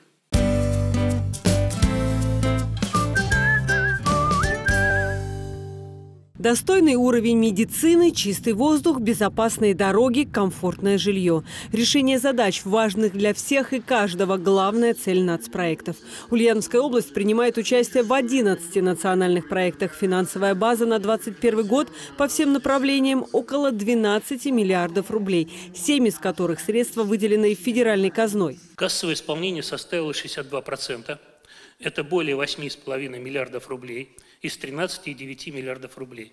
Это лучше, чем год назад и выше средних значений по России и Приволжскому федеральному округу. На 1 октября уже заключено более 1300 контрактов, но есть сферы, отстающие от графика в плане освоения бюджета. За два месяца, оставшихся до конца года, деньги необходимо вложить в проекты. Насколько мне известно, у нас есть ряд проектов, по которым процедуры еще не завершены. Напомню, что по поручению Михаила Владимировича Мишустина все неосвоенные и не законтактованные до 1 декабря денежные средства по нацпроектам будут перечислены в резервный фонд правительства Российской Федерации.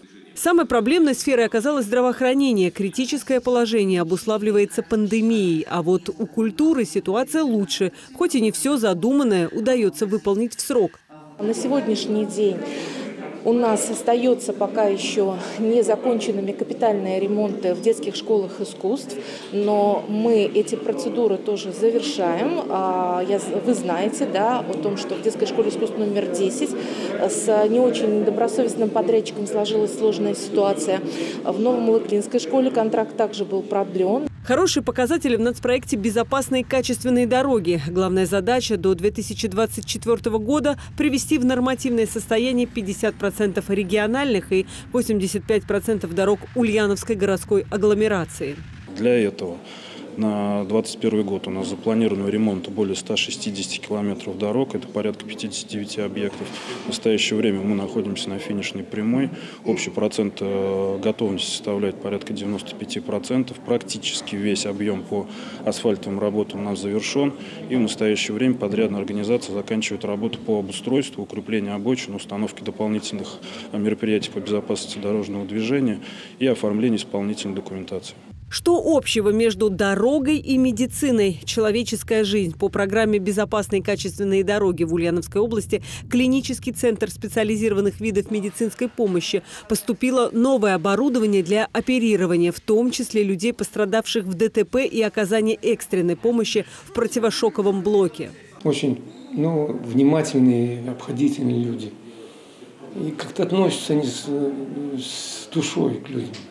Вот я не слышал, чтобы на кого-то там кричали, кричали, ну, что-то там.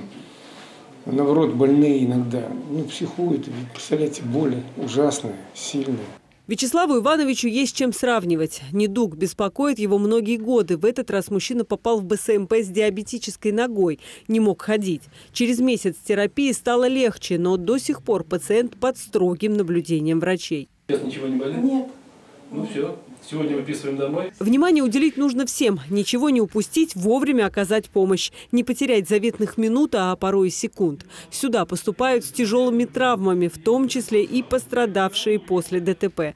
Доставить такого больного от приемного отделения до противошокового блока медики должны менее чем за 30 секунд. Если раньше мы оказывали помощь 420 тысячам человек, которые проживают здесь, то плюс к этому прибавилось левобережье, это еще 200 тысяч.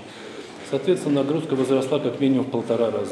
Работают на пределе возможностей не только в ковидных госпиталях. Вывозить тяжело не только людям из строя. Порой выходит и техника. Потерянное время может стоить жизни. Поэтому старое оборудование заменили новым, облегчив работу медикам и увеличив возможность сохранить здоровье пациентов, находящихся даже в самом критическом состоянии. 7 миллионов рублей на портативный УЗИ-аппарат, видеоларингоскоп, наркозно-дыхательный и рентгеновский аппарат. Результативность работы увеличилась. Неоспоримый факт, отмечают медики. Смертность от дорожно-транспортных происшествий, тяжелой сочетной травмы у нас ежегодно снижается в нашем лечебном учреждении. Мы стараемся все-таки забирать всех пациентов из районных больниц. Забирают и спасают, применяя все ресурсы – человеческие и технические. За этот год врачам больницы удалось успешно провести более 13 тысяч операций.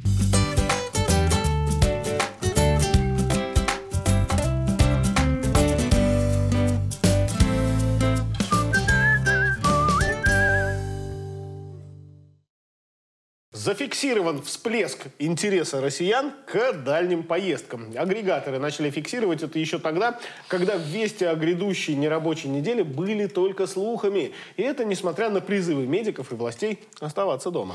Ну, так, по данным одного сервиса по бронированию авиабилетов, к выходным общее число запросов показывало прирост в 30%. Лидерами по числу запросов стали Москва, Санкт-Петербург, Крым, Краснодарский край и Калининград. Среди тех, кто искал авиабилеты за границу, примерно 10% приходится на Турцию и по 2% на Египет и Объединенные Арабские Эмираты. Спрос на перелеты по России в нерабочие дни вырос в полтора раза. При этом, например, москвичи ищут возможность уехать из города гораздо активнее жителей других регионов. По данным аналитиков, среди тех, кто оформил авиабилеты на даты с 29 октября по 7 ноября, 88% планируют путешествие по России, а 12 отправиться за рубеж. Так власти Сочи объявили, что ожидают максимальную загрузку курорта в ноябрьские выходные, совпадающие с объявленными нерабочими днями. Как сообщил в своем телеграм-канале мэр города Алексей Капайгородский, предполагается, что санатории будут заполнены на 90%, а отели на 75%. Вот так, рванули отдыхать. Ну, в Ассоциации туроператоров России ждут, что если к нерабочим дням не прибавится полноценный локдаун, продажи путевок будут расти. В первую очередь в Турцию Турцию и Египет. Но в Роспотребнадзоре напомнили, что россиянам рекомендовано в период нерабочих дней по возможности оставаться дома. Если избежать поездок не получается, то нужно использовать маски, антисептики, избегать мест массового скопления людей. Ну, передвигаться по городу Роспотребнадзор советует на такси. А рубрика «Это интересно» продолжит эфир.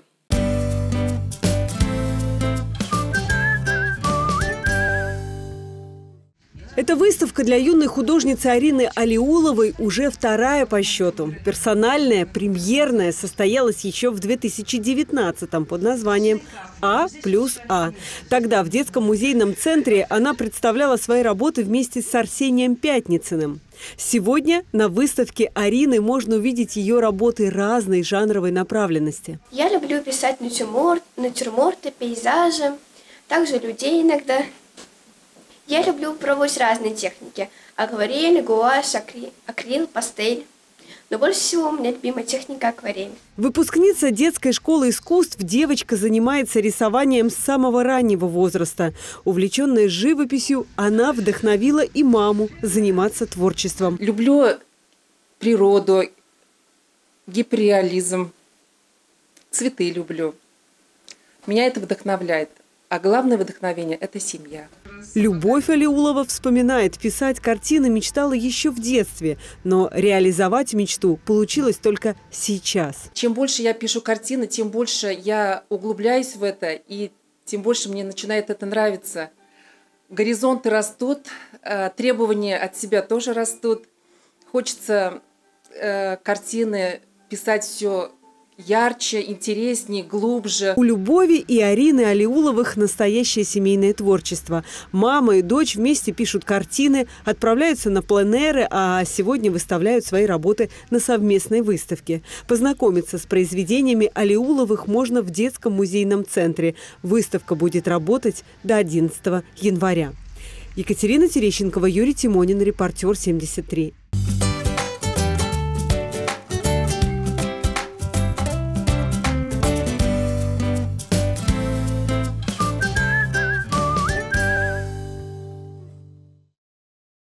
Картину дня дополнят региональные новости. В эфире информационная программа «Реальность».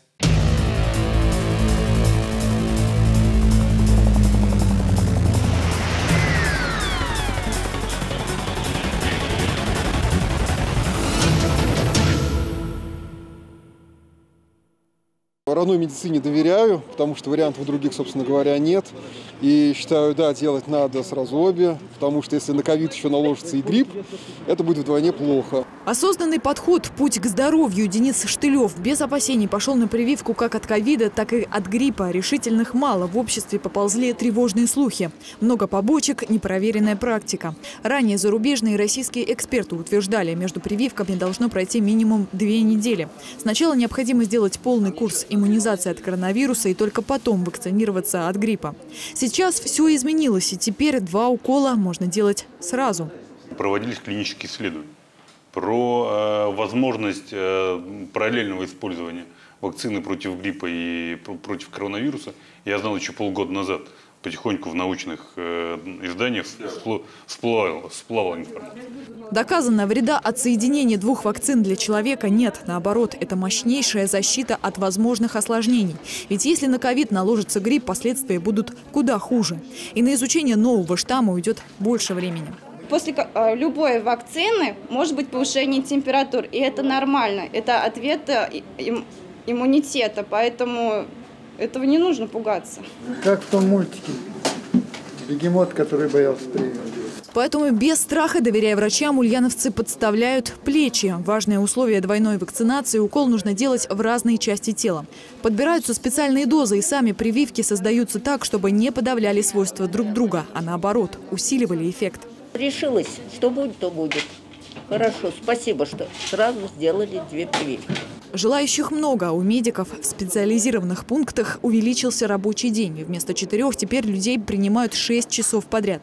Тяжело, но сил хватает, признаются врачи. Хватило бы вакцины. Все это время фиксировался дефицит препаратов. Сейчас этот вопрос постепенно решается. Здесь, в специальной комнате, где соблюдается температурный режим, хранится новый транш э, препарата от гриппа для детей. Для взрослых этот препарат тоже есть. Его завезли чуть Раньше 156 тысяч доз препарата для детских поликлиник. По учреждениям и в пункты вакцинации ампулы развозят постепенно. Для хранения прививок необходимы специальные условия. Маргарита Мутюшинская, Геннадий Бухтаяров, репортер 73. Из-за сезонных заболеваний осень для медиков всегда тяжелое время. Но этот год из-за коронавирусной инфекции снова стал особенно трудным. Количество обращений увеличилось в несколько раз. Каждому пациенту требуется уделять больше времени. Владимир Долгов – один из тех, кто решил помочь врачам в их непростой работе. Он выполняет важную задачу – развозит медиков по вызовам на своей машине. Минимум было три вызова. Это в СНТ «Залив», э, а максимум 50 э, вызовов. Э, с последнего адреса мы выехали ровно в 20.00. И врачи еще, я-то освобождаюсь, а врачи э, после того, как э, я их привожу сюда в поликлинику, они еще обрабатывают все документы, пройденные по этим адресам. За спиной Владимира уже более 200 вызовов. Доброволец помогает врачам в свободное от работы время. Терапевты сейчас трудятся на износ. Каждый день они принимают пациентов в кабинетах, а потом выезжают по адресам. Взять мазок на ковид – дело минутное, но вот расстояние порой растягивается на километры, поэтому не находишься. Бывает около 280 вызовов э, в сутки, то есть э, ну, около 300, так скажем. А, поэтому вот данная помощь, которую они нам оказывают по обслуживанию на дому – очень нас спасает, оказывает большую поддержку. В Ульяновской области сейчас работает 160 автоволонтеров, но этой помощи недостаточно. Когда многие сотрудники больниц болеют и проходят период реабилитации, медучреждения нуждаются в поддержке. Реальная потребность каждой поликлиники с учетом сегодняшней нагрузки нужно минимум в 2-2,5 раза больше, потому что машин реально не хватает. И вот сегодняшний день, и воскресенье, и так далее. Есть точки красные, как четвертая поликлиника, допустим, за Свиягой, да, где и 5-6 машин будет ежедневно мало. Помогая врачам, автоволонтеры тратят не только свое время, но и деньги на бензин. Чтобы возместить материальные затраты, добровольцам выдали топливные карты, которыми можно расплачиваться на заправках. Пока, конечно, возможности нашей системы здравоохранения не совсем соответствуют задачам, которые перед ними стоят. В этой связи, конечно, ваша помощь, она очень важна, и мы все глубоко ценим, понимаем, что занимаются этим делом люди только высоко сознательные. В ряды автоволонтеров все еще нужны отзывчивые люди, способные помочь медикам в это тяжелое время. Только объединившись, мы сможем справиться с пандемией. Соответственно, с 1 по 3 ноября в дошкольных образовательных организациях, детских садах и в дошкольных группах при школах по потребности родителей законных представителей будет организована работа. А, то есть работающие родители 1, 2 и 3 ноября а, могут привести ребенка в детский сад. А, все муниципальные управления образованием оповещены в настоящее, вчера и сегодня совместно с органами местного самоуправления мы занимаемся мониторингом вообще потребностей в работе дошкольных образовательных организаций. И здесь я хочу, пользуясь случаем, обратиться к родителям, законным представителям, э, чтобы действительно по возможности были с детьми дома.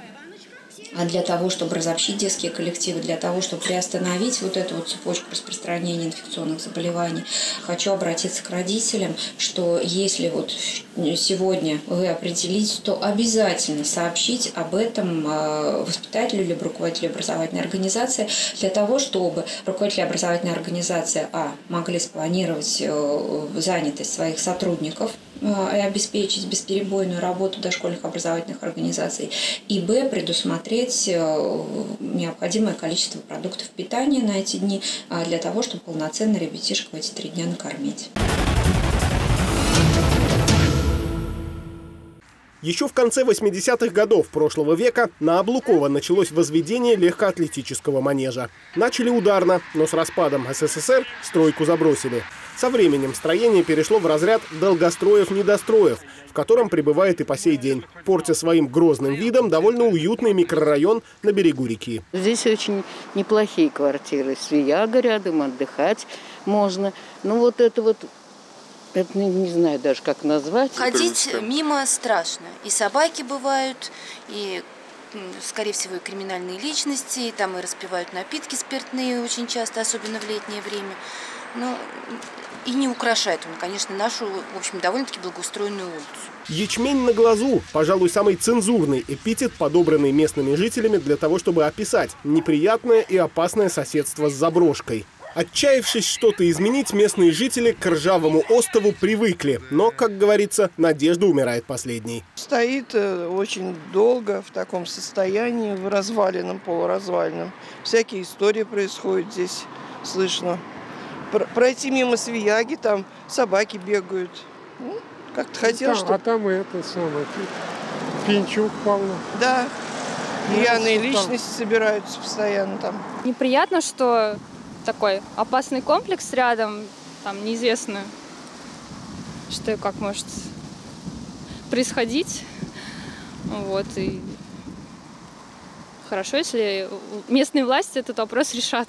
Решают. Уже готов проект по развитию микрорайона, в котором не осталось места для ржавой заброшки. На ее месте появится транспортная артерия, ведущая к планируемому новому мосту через Свиягу. Строительство нового мостового перехода в створе улиц Шевченко и Смычки позволит э, разгрузить э, улицу Минаева, Пушкаревское кольцо, улицу 12 сентября и также перераспределить э, потоки транспортных средств в Засвияже, северную и историческую часть города. Самое главное – цена вопроса. Над этим как раз и работает специальная оценочная комиссия, которая определит рыночную стоимость аварийного строения, не подлежащего восстановлению. В дальнейшем будет предложено собственнику манежа соглашение с возможностью оплаты по, как еще раз скажу, по рыночной стоимости его изъятия. В случае отказа собственникам подписания данного соглашения администрация города необходимо будет выйти в суд и в судебном порядке изъять данный объект. Кстати, ульяновцы не должны оставаться в стороне от вопросов развития микрорайонов. На сайте профгражданин.рф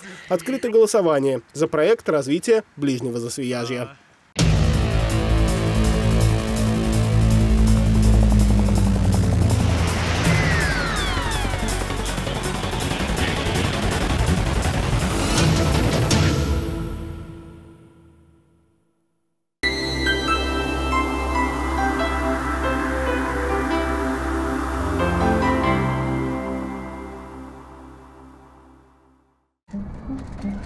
Сколько времени нужно, чтобы научить детей быть хорошими пассажирами?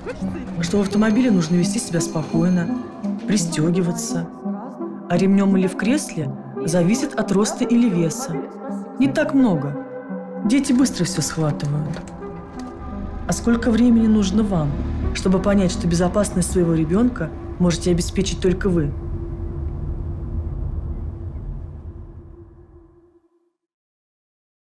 Ты входишь в группу риска инфицирования ВИЧ. Сейчас наблюдается активный рост впервые выявленных случаев в возрасте от 30 до 50 лет. Более 80% инфицируются половым путем. Оцени свой риск. Узнай свой ВИЧ-статус. Областной центр профилактики и борьбы со СПИД Ульяновск. Проспект Нариманова, 11. Суперцены в Светофоре. Кофе Якобс 200 грамм 243,90. Свинина на кости охлажденная 1 килограмм 219,90. Во всех магазинах «Светофор» Ульяновска, Инзы, Барыша, Кузоватова, Чудаклов и Димитровграда.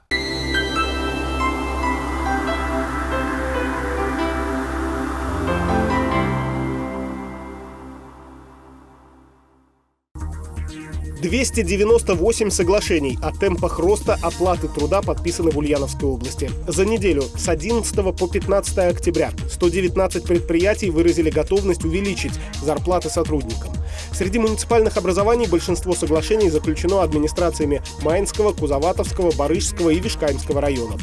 Уровень повышения зарплат на 15% за год в муниципалитетах будет достигаться поэтапно, в том числе за счет пересмотра в сторону увеличения процента индексации в ранее заключенных соглашениях.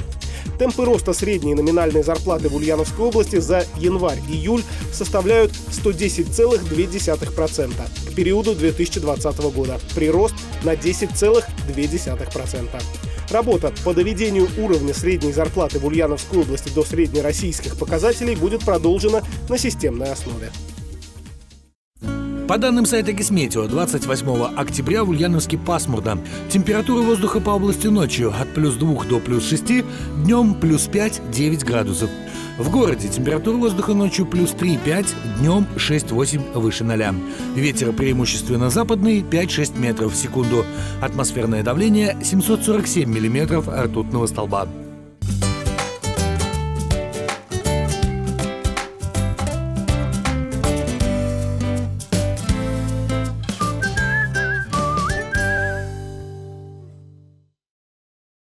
Ульяновске работает выставка в честь столетия оперного певца Георга Отца. Свободная к посещению выставка «Я люблю тебя, Георг Отц» работает в креативном пространстве «Квартал». Посольство Эстонии выступает организатором выставочного проекта в честь артиста. На выставке в Ульяновске представлены редкие концертные афиши, собранные в период гастрольных выступлений Георга Отца, а также письма поклонниц из разных уголков Советского Союза. Осмотр плакатов и писем сопровождают записи выступлений певца и фрагменты интервью людей, знакомых с артистом. В «Квартал» квартале. Выставка продлится до 31 октября. Уже с 3 по 21 ноября выставка будет доступна к посещению в Димитровградском креативном пространстве «Горизонт». Тему культуры в нашем утреннем эфире продолжит Ярослав Щедров. Ему слово.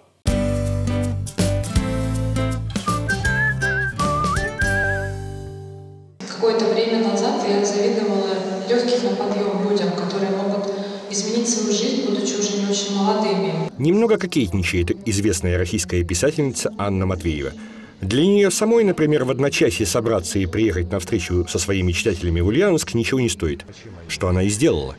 Встреча – это большая радость. Во-первых, мы сейчас не избалованы в наших условиях, в которых мы живем. Живых встреч очень мало, и каждое такое приглашение – это колоссальный шанс побывать в каком-то новом регионе. Хотя я была в Ульяновске раньше, но Каждая поездка сюда – это что-то новое. Ну и на таких встречах всегда есть обратная связь, то есть писатель может получить тоже ответы на какие-то свои вопросы. Угу. Уральская э, литература сегодня на особом счету. А, на ваш взгляд, основные отличительные черты уральской литературы? Я не нахожу каких-то особых черт, и мне кажется, сейчас, в принципе, российская литература вся на подъеме. Впрочем, к родному Екатеринбургу очень трепетное отношение. После Парижа, нет, все-таки перед Парижем это мой любимый город. Перевал Дятлова – трагическая и непонятно мистическая история, случившаяся в 1959 году в горах на севере Свердловской области, с начала нулевых очень волнует литераторов и кинематографистов. Повесть Анны Матвеевой ровно 20 лет назад стала одним из первых литературных переложений. Самое интересное со мной стало происходить после этой книги спустя много-много лет. Вот, э, я думаю, что вот самые интересные вещи случились лет, наверное, семь назад. Вот. Но «Перевал Дятлова» по-прежнему пользуется успехом, потому что тема сама это не оставляет никого равнодушным. Но мы как-то с ней одновременно друг друга нашли. Я ничего специально никогда не ищу, оно само приходит. Это было очень давно, давняя-давняя история. Она была написана тогда, когда вообще про эту историю достаточно мало кто знал за пределами Свердловской области. В общем, это была первая попытка такого художественного так, переосмысления этой вполне реальной истории, которая произошла в 1959 году на перевале смерти. А, книга выходит до сих пор, мы почти каждый год ее издаем. Последние годы стали достаточно активными переводить на иностранные языки. Последний по времени перевод был на латышский. Я хотела, как и все, найти разгадку, но я довольно скоро поняла, что разгадки нет, и вряд ли она будет когда-нибудь. Сегодня Анна пишет на другие темы, от бытовых до жизнеописаний известных музыкантов-художников. Заодно редактирует в издательстве своих коллег и не всегда полна оптимизма при этом. Люди разучились писать или рассказывать истории. А вот, очень много. Я просто так получилось, что я работаю еще как редактор и периодически появляюсь в жюри каких-то литературных премий. И очень мало интересных книг по-настоящему. То есть идет э, поиск ради формы, с моей точки зрения, это тупик. Искать надо не начиная с формы. Форма это, это важно, но содержание не менее важно. И очень важно увлечь читателей, тем более сейчас, когда людей читающих э, все меньше и меньше. Настоящая литература, она всегда написана на собственной крови, на собственных каких-то драмах, боли и так далее.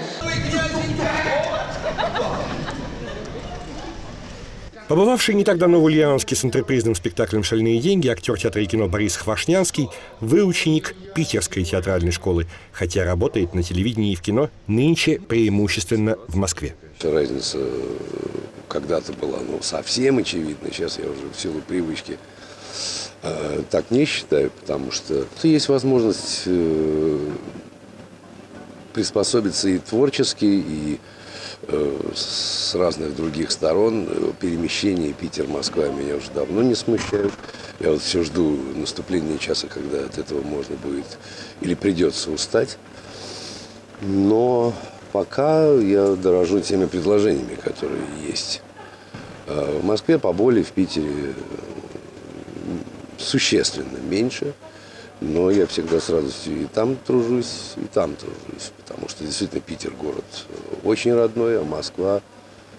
А Москва какая-то постоянно непостижимая. Москва, конечно, меняется, в отличие от Питера. То есть она просто меняется. Ульяновск для вас э, больше Ленин или Гончаров? Ну, Ленин, разумеется. Я знаю, где Гончаров проживал. Однако, да, Владимир Ильич. Практически с первого появления на экране Борису Анатольевичу упорно приписывают некоторые сходства с голливудской кинозвездой Робертом Дауни-младшим. С вашей харизмой, с вашей статью, с вашей внешностью. Вы тоже заметили, что она есть? Есть. А, все-таки, может, уже подвинуть Дауни? Да слушайте, пусть он выбирается сюда и попробует сместить меня. Это его проблема. Я двигать никого не буду. Попробовать там. Э, я, да нет, это не имеет перспективы. Я даже, ну, это не имеет смысла обсуждать.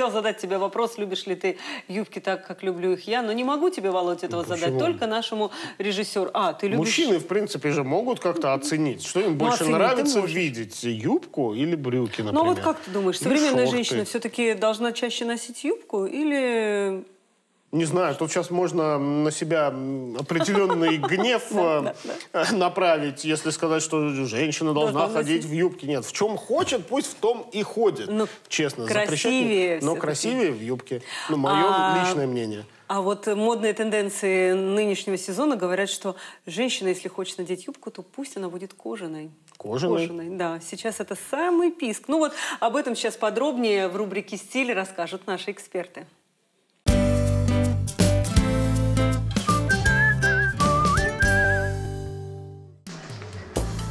Доброе утро!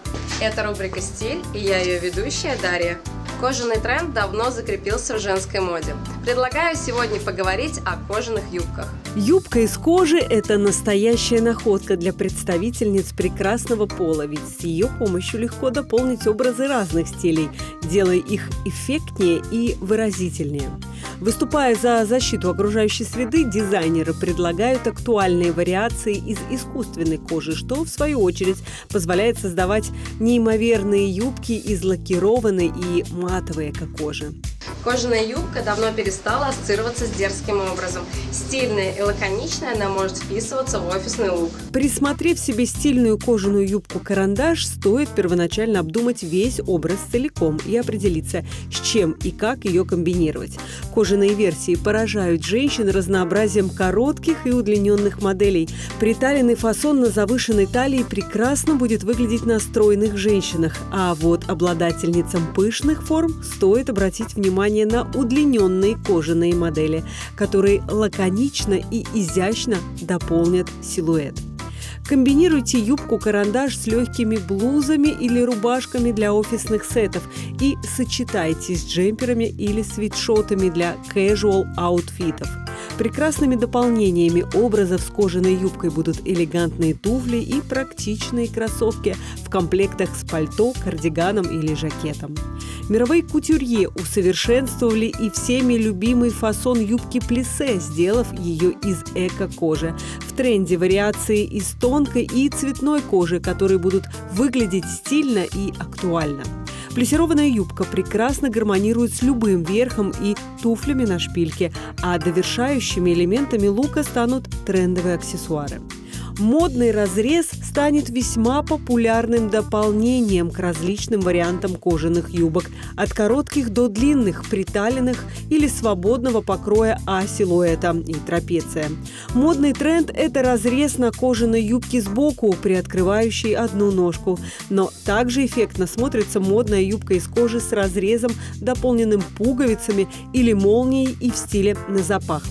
Юбка сочетается не только с кожаной курткой и майкой. Комбинация со свитером, блузкой, футболкой или джинсовой рубашкой будет выглядеть актуально и модно, если правильно подобрать все элементы образа.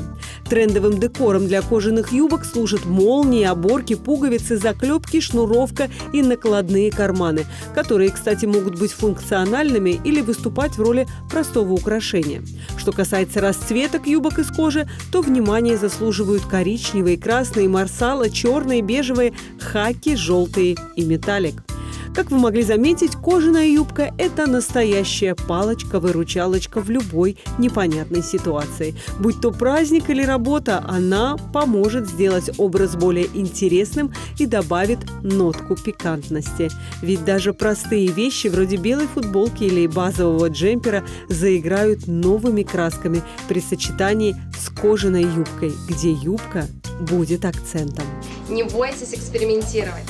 Будьте разной, смелой, дерзкой, креативной, лаконичной.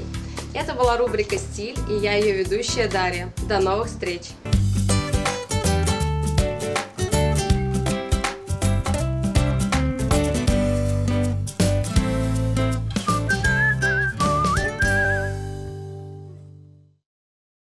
Доброе утро, и мы продолжаем. И сегодня будем вновь говорить о волонтерах, и не только о волонтерах культуры. Почему? Потому что наш регион может гордиться. Мы вот такие вот молодцы, и наш опыт с удовольствием транслирует на другие регионы.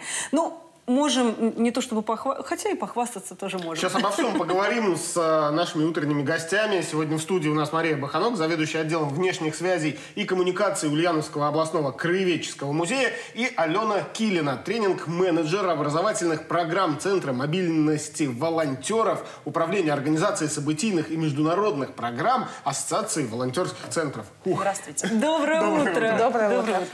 Мощно так, прям масштабно, масштабно. А Ответственности столько же, сколько э, слов в э, регалиях. Да, примерно столько же, потому что мы э, работаем в рамках э, федерального проекта «Социальная активность», нацпроекта образования, и это накладывает определенные да, для, на нас обязанности быть э, в максимуме в масштабе. Тогда немножко, прям, может быть, пару слов, а, что за центр мобильности волонтеров, а, куда их, я так понимаю, мобильность это же взять, куда-то перевести, перенести что-то новое и как-то взаимодействовать между, может быть, э, я не знаю, культурными учреждениями или прям даже регионами? Ну, если вкратце, мы э, находимся в Ассоциации волонтерских центров. Это крупнейшая организация в России. У нас более, более 160 членов организации по всем регионам. И в рамках э, нашей работы мы обеспечиваем да, реализацию программы мобильности волонтеров. Мы отправляем волонтеров на крупные международные события в России и за рубеж. Это наши опытные ребята, волонтеры по определенным требованиям, критериям, которые подходят событиям. А, службы атташе, сопровождение иностранных делегаций или работы на стадионах. Ну, разного-разного вида творческих э, да, волонтерских задач. А, мы отправляем их, набираем а, из э, числа всех волонтеров, которые хотят подать заявку, и, соответственно, лучшие едут на эти события. Плюс мы также реализуем вот образовательные стажировки, обучающие программы на территории регионов и на территории ведущих некоммерческих организаций, которым есть чему поделиться с другими организациями, с сотрудниками, которые приезжают забирать опыт и тиражировать его к себе в регион. То есть э, таким образом обмениваем практиками, друг с другом, и у них выравнивается знание про волонтерство, про то, как развивать, про какие-то структуры, про самые интересные практики, методики и технологии. Плюс мы отправляем волонтеров на чрезвычайные ситуации, на различные подтопления, либо пожары, лесные пожары, да, совместно с Всероссийским студенческим корпусом спасателей. Туда едут э, подготовленные ребята, мы обеспечиваем им трансфер, проживание, питание на время того, как они помогают населению в трудных ситуациях. И отправляем людей на поиск пропавших детей в трудные зоны. А, туда едут тоже профессионалы, туда едут координаторы поисковых групп, а, выстраивать работу с местным населением так, чтобы это было максимально эффективно, комфортно и быстрее найти детей, спасти жизнь. Вот а, таким образом мы отправляем, тоже помогаем мобильно переместиться группам по России. И четвертое направление открылось в этом году, последнее завершающее, да, но надеюсь, что будут еще появиться новые. Это экологические направления, экологические смены на территориях заповедников и национальных парках. Туда выезжают эко-волонтеры, помогают, соответственно, сотрудникам этих заповедников. Угу. Вот Здорово. вкратце так. Цель прибытия в Ульяновск. Что это будет, что за организованное э, совместное такое мероприятие? Обмениваемся опытом, делимся или вот... Да, и получается так, что на самом деле Ассоциация волонтерских центров проводит э, конкурс для проведения стажировок. То есть нужно подать так заявку, пройти отборочный тур. Мы это все сделали. Мы на самом деле дважды подавались. Первый раз мы не прошли. да, это было, мне кажется, весной. Мы не смогли пройти. Мы переписали заявку, еще раз перечитали требования, поняли, где наши ошибки. И уже так более наверное, качественно проработали всю программу и отправили. И вот в первых числах сентября, если я не ошибаюсь, нам пришла информация о том, что мы победили в этом конкурсе, и теперь мы примем у себя э, гостей из, э, ну, из 20, наверное, регионов, да, э, потому что 20 участников со всей России. Ну, из самого дальнего это Хабаровский край, Амурская область, если я не ошибаюсь, да, вот это гости, которые к нам сегодня приехали и уже сейчас в музее Гончарова обучаются. То есть мы с ними будем делиться именно нашим да. наработанным опытом? Вот. Да, вот тот опыт, который за два года существования нашего волонтерского центра на базе музея мы наработали, мы смогли Ассоциации волонтерских центров доказать, что мы готовы поделиться. Мы прошли тот путь, наверное, проб и ошибок. Где-то у нас были проблемы, мы неоднократно рассказывали вам об этом, да, и когда мы выезжали э, на объекты культурного наследия, мы сталкивались, мы погрузились в те темы, в которых, возможно, мы не очень тогда разбирались. И вот эта вот история про то, что когда ты входишь, а потом начинаешь, возможно, да, разбираться, вот это вот мы все э, со всем этим будем делиться с нашими коллегами, потому что это э, в основном работники учреждений культуры, библиотеки, музеи, музеи, дома культуры, те, кто делает, э, такие организует, наверное, волонтерские акции и вообще волонтерские центры э, в сфере культуры. И нашими вот такими основными, наверное, направлениями, с которыми мы будем делиться, это то, что с чем мы выигрывали гранты, это Ульяновск город трудовой доблести, сохраним память, мы расскажем, как мы этот э, проект выиграли, как мы его реализовывали вместе с волонтерами, естественно, про объекты культурного наследия, про то, как мы выезжали в районы обучали э, сотрудников музеев, а также волонтеров. Вот эти все проекты мы от начала до конца вместе с нашими гостями пройдем. Возможно, кто-то из них возьмет и на вооружение и будет внедрять у себя. Мы очень надеемся. Ну а так мы будем работать 6 дней. Вот сегодняшнего, да, сегодня первый день и до субботы включительно. В основном это все будет на базе историко-мемориального центра музея Гончарова. Здесь рядышком с вами. Но у нас запланировано два выезда. Мы будем выезжать э, в Кузоватово и в Вундеры. Э, да, и где будем в Вундерах мы будем, пройдем, конечно, палеонтологические uh-huh. вот эти раскопки вместе с Ильей Михайловичем Стеншином. Мы все потом вернемся в музей к нему и будем в лаборатории работать. Все так, как работают волонтеры на базе э, палеонтологического музея. То есть нужно прям погрузиться в деятельность волонтера, чтобы понять, как и что внедрять. Это вот про то, что когда я начала этим заниматься, помните, поехала приехала э, в Москву, погрузилась и стала у московских волонтеров спрашивать, ребят, зачем вы вообще ходите в музей, зачем вам надо? И вот тогда стало понятно, для чего это делать. Вот мне кажется, что здесь примерно то же самое. Как раз нужно погрузиться и в волонтерскую деятельность на месте, и понять вот те ошибки, с которыми мы сталкивались, э, когда реализовывали эти проекты. Когда мы поедем в Кузоватово, то там мы будем проходить как раз мастер-классы про э, резьбу по дереву. Угу. Мы это тоже, то помните, проводили, да, да, да, да, да, и мы хотим тоже это все показать, что это возможно делать, и это интересно, и интересно и с точки зрения волонтерской деятельности, потому что это прям, ну и вообще это погружение в, в историю, культуру. Мне вообще кажется, что волонтеры культуры — это такая тема про не только про помощь, но и погружение человека, вот как раз то, что я сказала, истории культуры родного региона. Мы приобщаем к этой теме через добровольчество. Потом не просто навязываем, приходите в музей, а говорим, давайте, давайте вместе с нами знакомьтесь с нашей профессией, давайте вместе с нами реализовывать проекты. Тогда и есть такое какое-то ну, погружение и интерес вызывает, когда я сам тоже могу в этом принять участие и помочь что-то реализовать. Ну, это хороший... Да, да, да, наверное, вот это объединение усилий. Человек наконец-то на музей даже смотрит с другой стороны.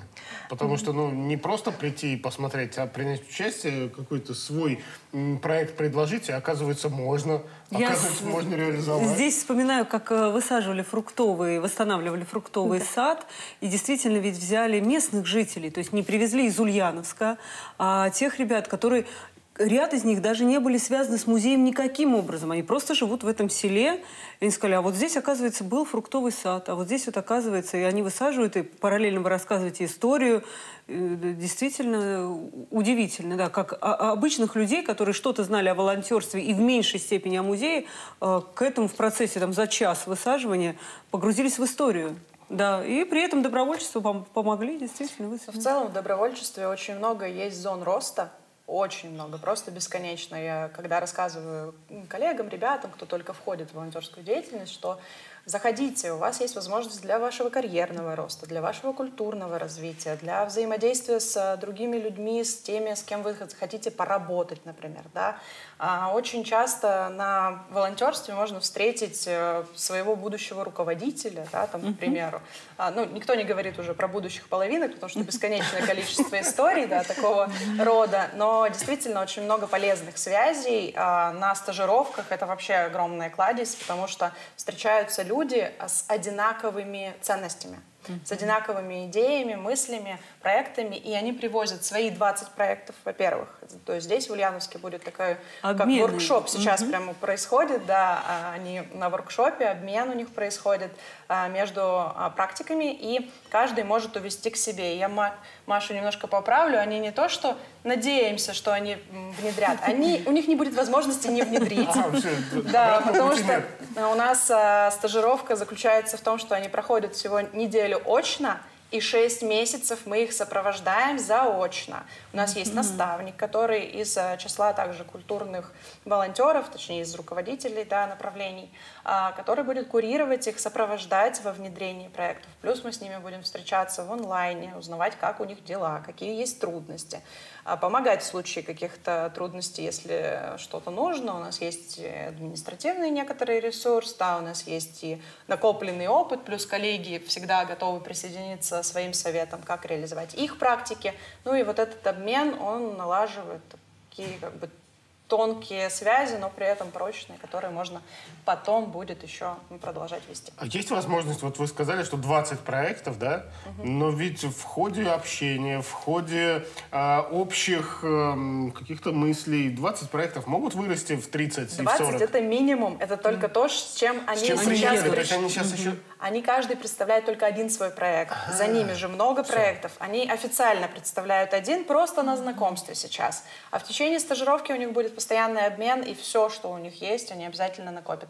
Потом, после стажировки, у нас формируется каталог практик, то есть все, что будет, 100, 120, 300, сколько получится забрать у фонда, забрать у партнеров фонда, да, у тех же э, организаторов из э, муниципалитетов да, и самих участников. Мы формируем общий каталог, который будет всем доступен, не только участникам стажировки, но и, в принципе, любым, любому желающему, кто хочет развивать свои проекты в сфере культуры. Здорово. То есть они потом это все к себе переносят. И вы говорите, кураторы вот и помогают в этом разобраться, да? То есть это есть общий какой-то чат или все просто нацелены на вас? То есть вот возник вопрос, а как развить эту практику у себя? И они к вам непосредственно... У нас есть общий чат. Угу, угу. А, куратор, наставник, а, он курирует, сопровождает а, ребят, чтобы они могли приземлить практики к себе, угу. потому что здесь а, одна реальность, да, там поддерживает государство, например, угу. хорошо, да, поддерживает ресурсный центр, и все а, налажено уже, все готово, ничего не нужно менять, ничего не нужно а, еще там дорабатывать, улучшать, и пусть все сохранится в том виде, в котором сейчас есть, потому что вот музей Гончарова, да, это один из таких э, кейсов, которые вот можно брать к себе в регион, забирать, говорить э, своему органу власти, вот смотрите, как у них все это выстраивать, да, и как их поддерживают снизу, и как поддерживает сама организация, на базе которой они находятся. То есть все вот эти связи, ну, это тоже важный да, момент. И волонтеры их любят, да, mm-hmm. то есть тоже важно. А, можно забирать и увозить. И вот такие практики потихонечку, кейсами, кейсами можно отправлять к себе. А все с удовольствием делятся практиками? Или кто-то может сказать, не, не хочу. Не хочу. Вот, вот моя практика, вот я буду ее у себя культивировать, а вам не Ну, смотрите, сюда проходят только люди через те, которые едут делиться, те, кто едут забирать. У них большой конкурс, на эту стажировку было более 450 заявок. Вот, соответственно, они прошли этапы отбора, тестирования, интервьюирования с каждым отдельно. Ну и, соответственно, потом еще такой сетчатый отбор, да, точечно уже конкретно, кто проходит на стажировку в основной состав, кто-то из резерва добавился, да, там в последний момент. По знакомству можно проскочить? Проскочить?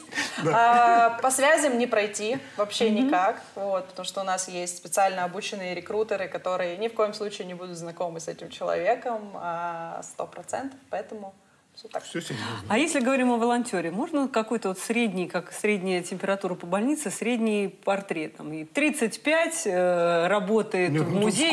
Или вот действительно они настолько студенты, старшее поколение. Вот какой он волонтер? В целом, если брать по России и во всех направлениях, ну, в основном это женщина, угу. да, 70 примерно процентов женщин а у нас а, в волонтерстве если брать гендер, по возрасту ей в районе 26 лет. 4-6, mm-hmm. где-то так. Ну, что у нас есть и старшее поколение, есть и школьники, mm-hmm. да, в среднем где-то вот так. Ну, естественно, большая часть это студенческая аудитория. А много серебряных добровольцев, и их количество растет с каждым годом вот, потому что они узнают друг у друга о том, что это классно, это дает возможности. Но а на стажировках все-таки возраст постарше, то есть средняя на стажировках будет в районе 34-5 лет, потому что все-таки едут руководители, едут кураторы команд, организаторы, да, сотрудники организации, либо представители органов исполнительной власти, которые курируют добровольчество. И это все-таки люди постарше уже здесь. Здорово. Ну, продуктивной вам работы. Ждем, ждем с результатами в гости. Да. Конечно. Ну, а что? Начали, надо будет завершать. Результатами поделиться придется. Телезрителям напомню, этим утром у нас в гостях была Мария Баханок, заведующая отделом внешних связей и коммуникаций Ульяновского областного краеведческого музея, и Алена Килина, тренинг-менеджер образовательных программ Центра мобильности волонтеров Управления организацией событийных и международных программ Ассоциации волонтерских центров. Ну, а мы двигаемся дальше.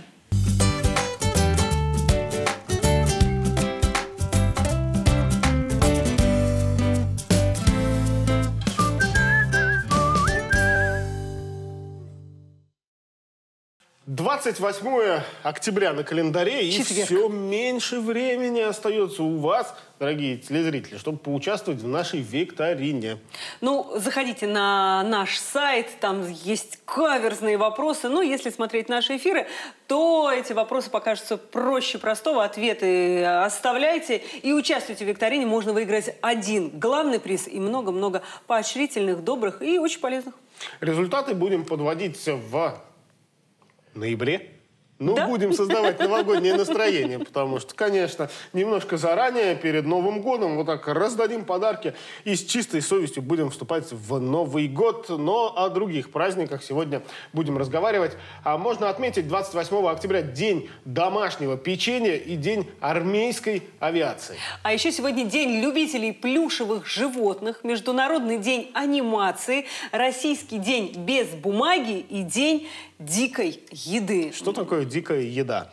Я не знаю, вот кто побежал, тот и дикий. Нет, ну в смысле, это добытая дичь, или ты вот вышел на природу, создал пикник в диких условиях, э, вроде бы поел, так, хм, дикая еда была сегодня. Ну нет, она вряд ли дикая. Я вот думаю, пока она бежит, вот э, ты ее поймал, вот она и дикая еда. Есть она должна как-то сопротивляться в процессе. А гамбургер, он не сопротивляется. Если вдруг вы э, с утра погнались за какой-то дикой едой и пропустили выпуск э, нашей программы, не беда, заходите на сайт www.reporter73.tv. Там можно наверстать, посмотреть не только «Утро с репортером», но и все остальные программы нашего телеканала. Ну, конечно, звоните по телефону утренней редакции, разговаривайте с нами и, может быть, рассказывайте свои уникальные, интересные истории, а еще можно даже стать героем нашей программы. Телефон 30 50 73. А партнер программы по традиции салон «Цветы и штучки». Ну что, сегодня этот день начинали вместе с вами мы, Екатерина Терещенко. и Владимир Гаврилов. До завтра. Пока.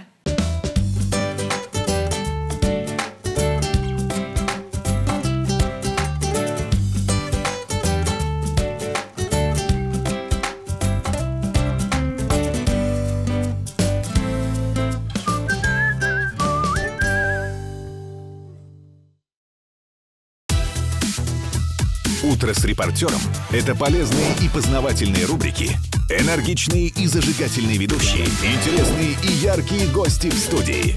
Только позитивные темы. Спорт, здоровье, стиль, культура и саморазвитие. Ваше утро будет легким и бодрым. Смотрите нас на каналах «Репортер 73» и «ОТР».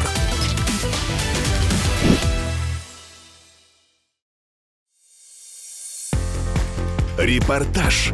Быть на месте, видеть и знать, выяснить и найти, подтвердить или опровергнуть. Репортер 73 всегда на месте событий находит правых и виноватых. Каждый вторник на Репортер 73 и на ОТР.